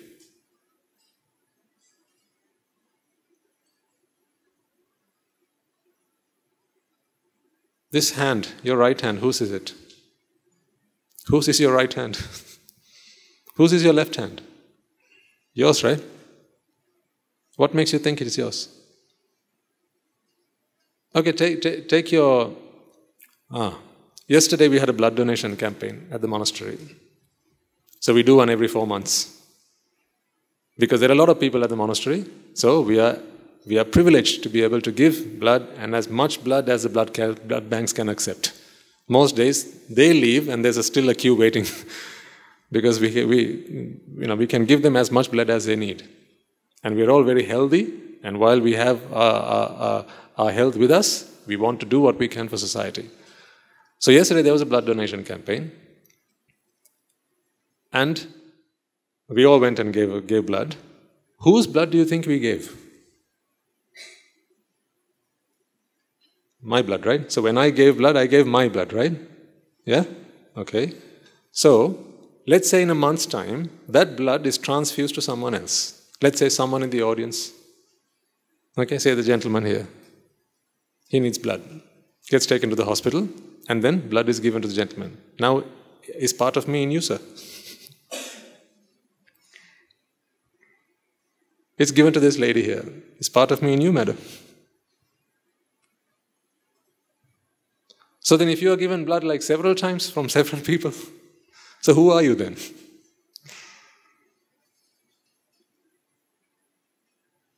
Then who are you then? What about if you have a kidney transplant? Someone's kidney gets transplanted to you. Now, are you 90% you and 10% somebody else? Or 95% you and 5% kidney somebody else? Then you get a liver transplant. Hmm? That's another 10%. So now you're 80% originally you and 20% somebody else. At what point do you become completely somebody else? Take a car, for instance. Your car, once it starts getting old, parts have to be replaced, right? Yeah, you have to replace parts. So let's say you have an accident and the left door needs to be replaced. Okay? So you take the door out, the, the, the door that's, that's been damaged, and you replace it with a second hand door. They paint it, they, they do the paneling, and they, they fit it, and now it looks like it's all part of the, the original car. So, how much of that is actually your car now? Is it 90% your car, 10% somebody else's car? Or do you still feel that this is now all my car? With the new door fitted, whose car is it now? Still your car. Then the, the other door gets damaged. That also gets replaced by, by the door of another car. Hmm? Then say the bonnet gets damaged. The bonnet gets replaced by another bonnet. The boot gets damaged. That gets replaced by another one. Then the inside, the, the, the seats, they get damaged, they get replaced. At what point does it stop being your car? When all parts have been replaced, does that then become your car? You know, every time you take your car to get serviced, what do they do? They take away parts that are yours and then give you other parts, don't they? So every time you take your car to a service, you come back with less of what your car was originally. Don't you? So, at what point does it stop being your car? Here's a better question At what point was it your car to begin with?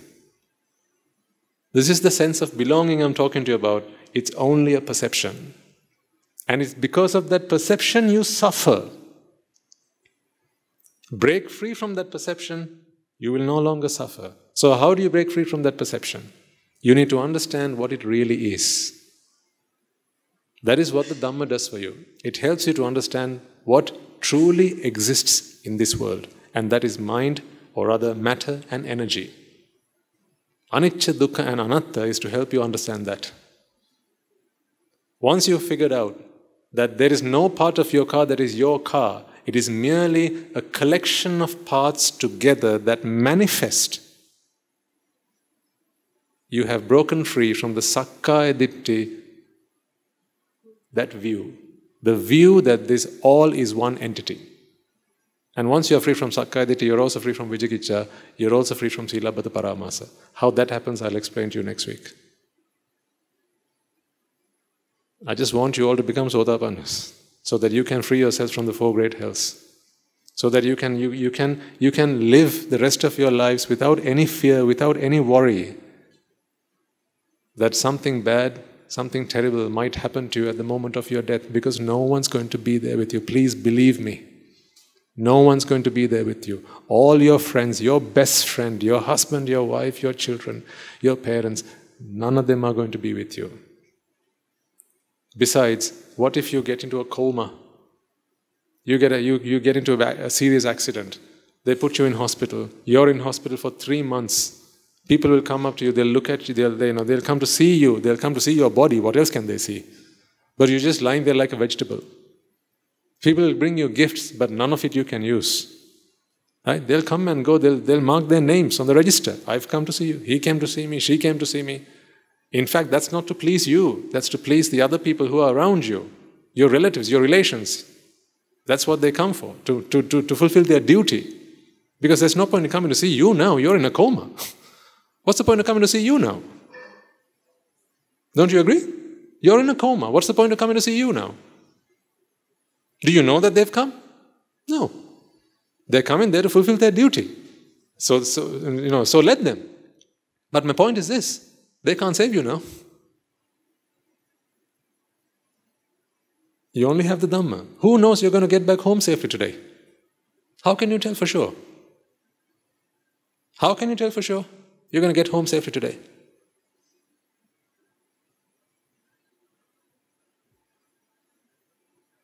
Are you, are you going to promise me that you'll all get home unscathed? You're not going to have an accident? And that a container is not going to drive over your vehicle? Hmm? As you drive past Diyawanna, a massive container drives in, right? Hits your, hits your vehicle, you drive straight into the water. By the time the firefighters come, you're dead. They'll save the car, they won't save you. You worked 20 years to buy the car. You're still paying the lease. What's left for you? How many things are you still paying leases for? You're paying the mortgage still on the house. You'll work yourself dry until you pay that off. You'll work yourself to the bone paying your mortgage off. I, I feel for you folks. That's why I speak to you like this. You'll spend your entire life paying off for your car. That's what you'll do.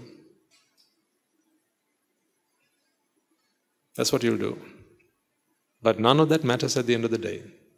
Because none of your possessions can you take with you. Not a single grain of sand can you take with you.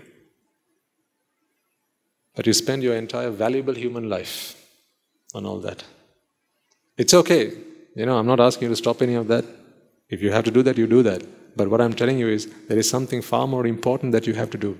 Break free from Sakkaya Ditthi. And do whatever you have to do. How's that for a deal? All I'm asking is to do that, right?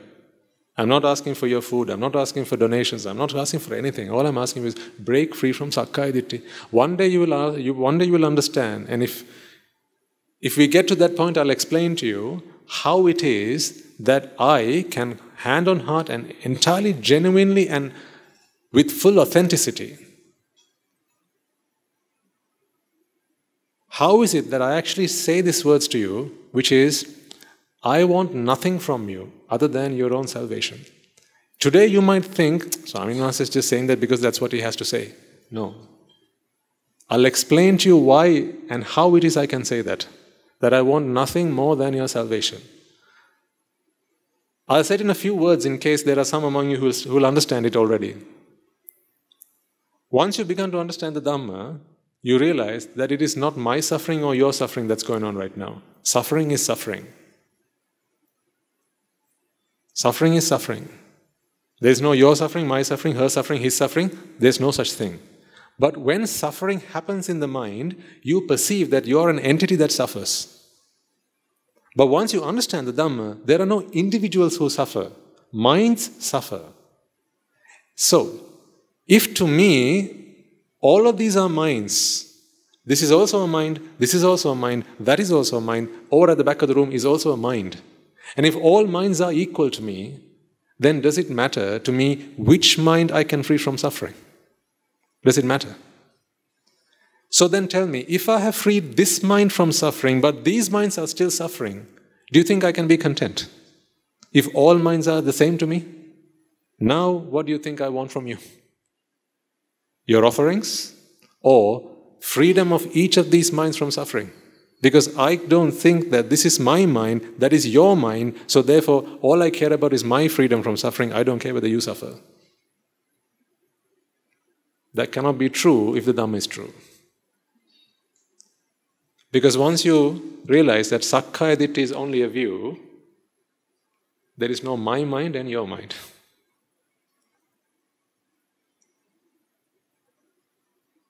These words are so profound. Even I'm impressed by their profoundness.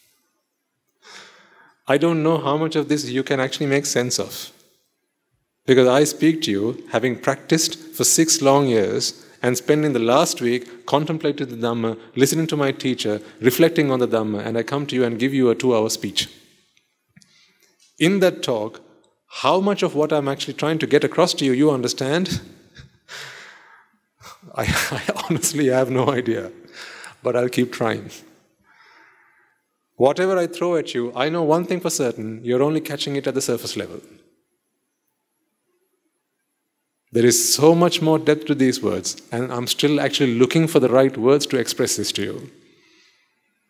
Once you break free from Sakkaya Ditthi, once you are able to look outside the world and free of Sakkaya Ditthi, all minds are the same.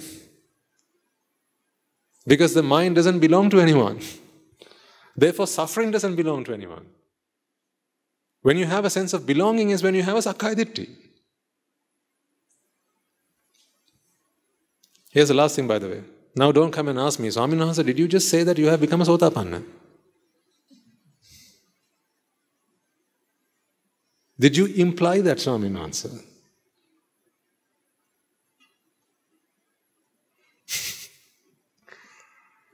If I wanted to imply that, I wouldn't imply it. I would tell it to you straight. What is my Sotapanna of any bearing to you? I'm a Sotapanna. Okay, let's assume I'm a Sotapanna. Are you free from the four great hills? Hmm? So why does it matter to you? if the Dhamma is true, and if the Dhamma makes sense, just listen to the Dhamma. Take the Dhamma from here and nothing else. Leave me behind. Leave me to a side. My Sotapannaness has nothing to do with yours. If you feel that the Swamin Vahanse is not able to deliver the Dhamma in a way that you can become a Sotapanna, then by all means find someone who can.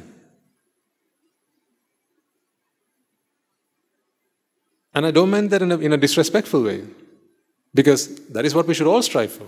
Find someone who can help us achieve the noble states, right? And it's not like it's a sin for me to, for me to say whether I'm a Sotapan or not. It's, it's not so. And the Buddha hasn't forbidden me, or any monk for that matter, to state whether they have achieved a noble state or not. The, the law, the rule that the Buddha laid down was don't reveal them for the sake of your own benefit, your advantage. If when you say such a thing, people respect you more, and you, because of that, you say it to get that from people, for their respect, for their regard, for their offerings. for their robes, for their food, don't go around telling that you have become a Sotapanna or Sakadagami or Rahatan. That is a is a, is a transgression which will expel you from the sasana. But at the end of the day, it doesn't matter to you what I am. What matters to you is the message that I have brought with me. Does this make sense to you? That's all you got to think about. And as you listen to this message, do you feel that you are able to free yourself from suffering? If you are, if you are, if you feel that way, you're in the right place. If you feel that you've been coming along to the sermons, but it's not making sense, and I don't feel like I'm freeing myself from raga, dvesha, moha, then we are probably in the wrong place. Then may your merits guide you to the right place. And once again, I don't say this out of spite. Because you might think, eh, now Swamin Vahanse is just having a go at us. No. If I was having a go at you or something like that, do you think I'm a Buddha Putra? Could I look at the Buddha in his face, lay down in front of him and worship him, and then come and start, you know, jesting at you and mocking you? Could I do that? I couldn't. I wouldn't.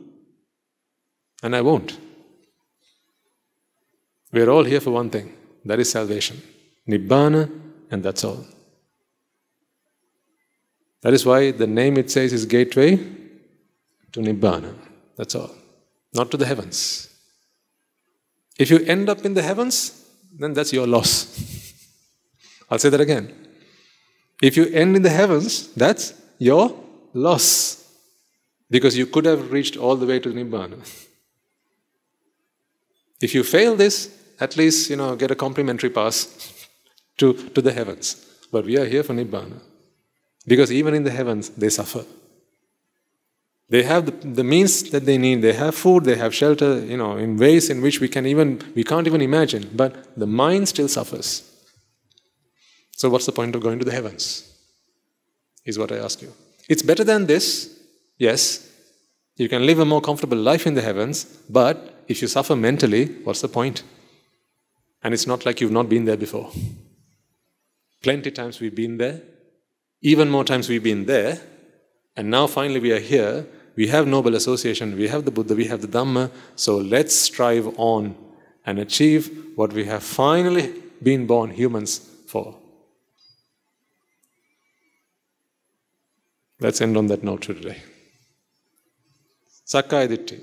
Start to think about what we have discussed today, what Sakkaya Ditthi means, and how that helps you, that understanding leads to your freeing from Vichikicha and Silabbata Paramasa as well. We'll talk about next week. Right, let's transfer the merits and bring today's sermon to a close. okay, so first and foremost, then, let us all take a moment to remind ourselves how extremely fortunate we are to be in receipt of the Lord Buddha's teaching, and with immense gratitude towards the bhikkhus and bhikkhunis, upasakas and upasikas, let us transfer these merits as they have made great efforts and sacrificed their lives to protect the peace and, beg your pardon, to protect the pristine teachings of the Buddha and passed it down through the generations of the noble lineage in the form of the Tripitaka, which is thankfully available to us today to study and understand and comprehend the Dhamma. Let us also transfer this message to all members of the Mahasangha present throughout the world, including the chief prelates of all of the chapters who've dedicated their lives to the noble path and have committed themselves towards the betterment of all sentient beings.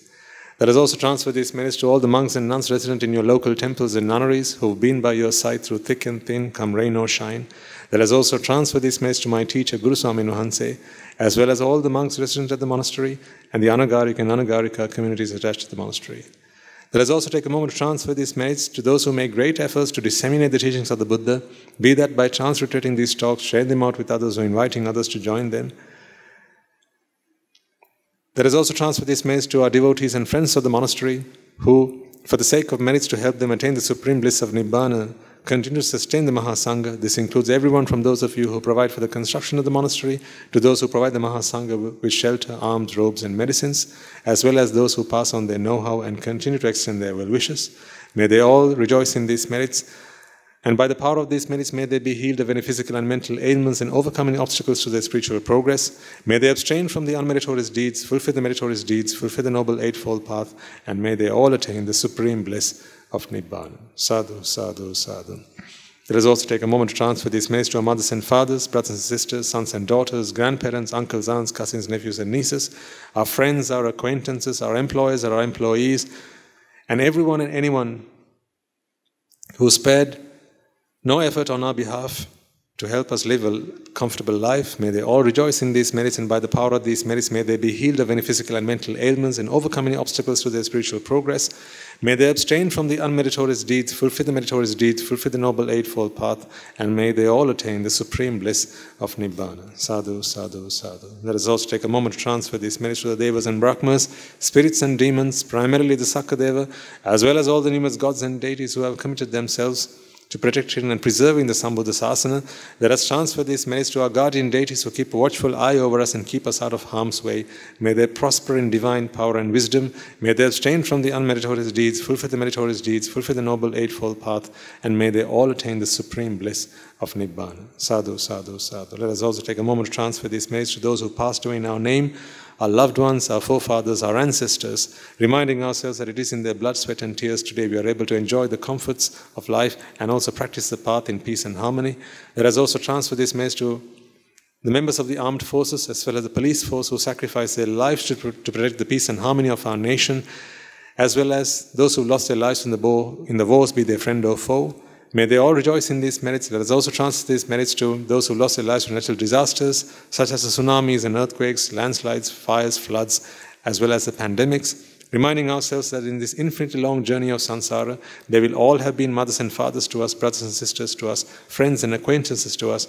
Therefore, out of compassion and loving kindness and an, and an abundance of gratitude towards all of them, let us transfer all these merits to them. By the power of these merits, if any of them have been born in the woeful planes, they redeem themselves and be born in the blissful plane. May they abstain from the unmeritorious deeds, fulfill the meritorious deeds, fulfill the noble eightfold path, and may they all attain the supreme bliss of Nibbana. Sadhu, sadhu, sadhu. And finally, may by the power and blessings of all the merits we have acquired throughout the day, we be able to witness the advent of many hundreds of thousands of arahants on this blessed land.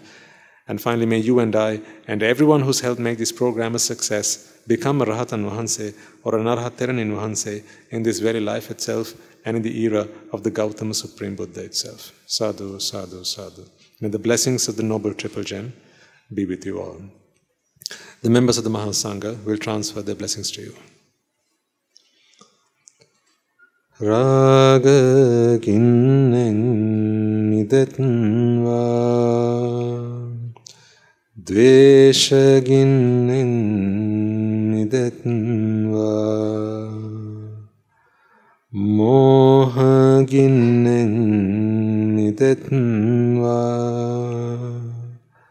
නිබ්බාන පරම සුඛයෙන් සුඛිතතර වෙත්වා නිබ්බාන පරම සුඛයෙන් සුඛිතතර වෙත්වා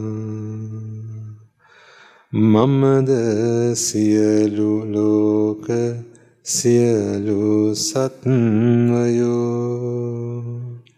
නිබ්බාන පරම සුඛයෙන් සුඛිතතර වෙත්වා නිබ්බාන පරම සුඛයෙන් සුඛිතතර වෙත්වා නිබ්බාන පරම සුඛයෙන් සුඛිතතර වෙත්වා.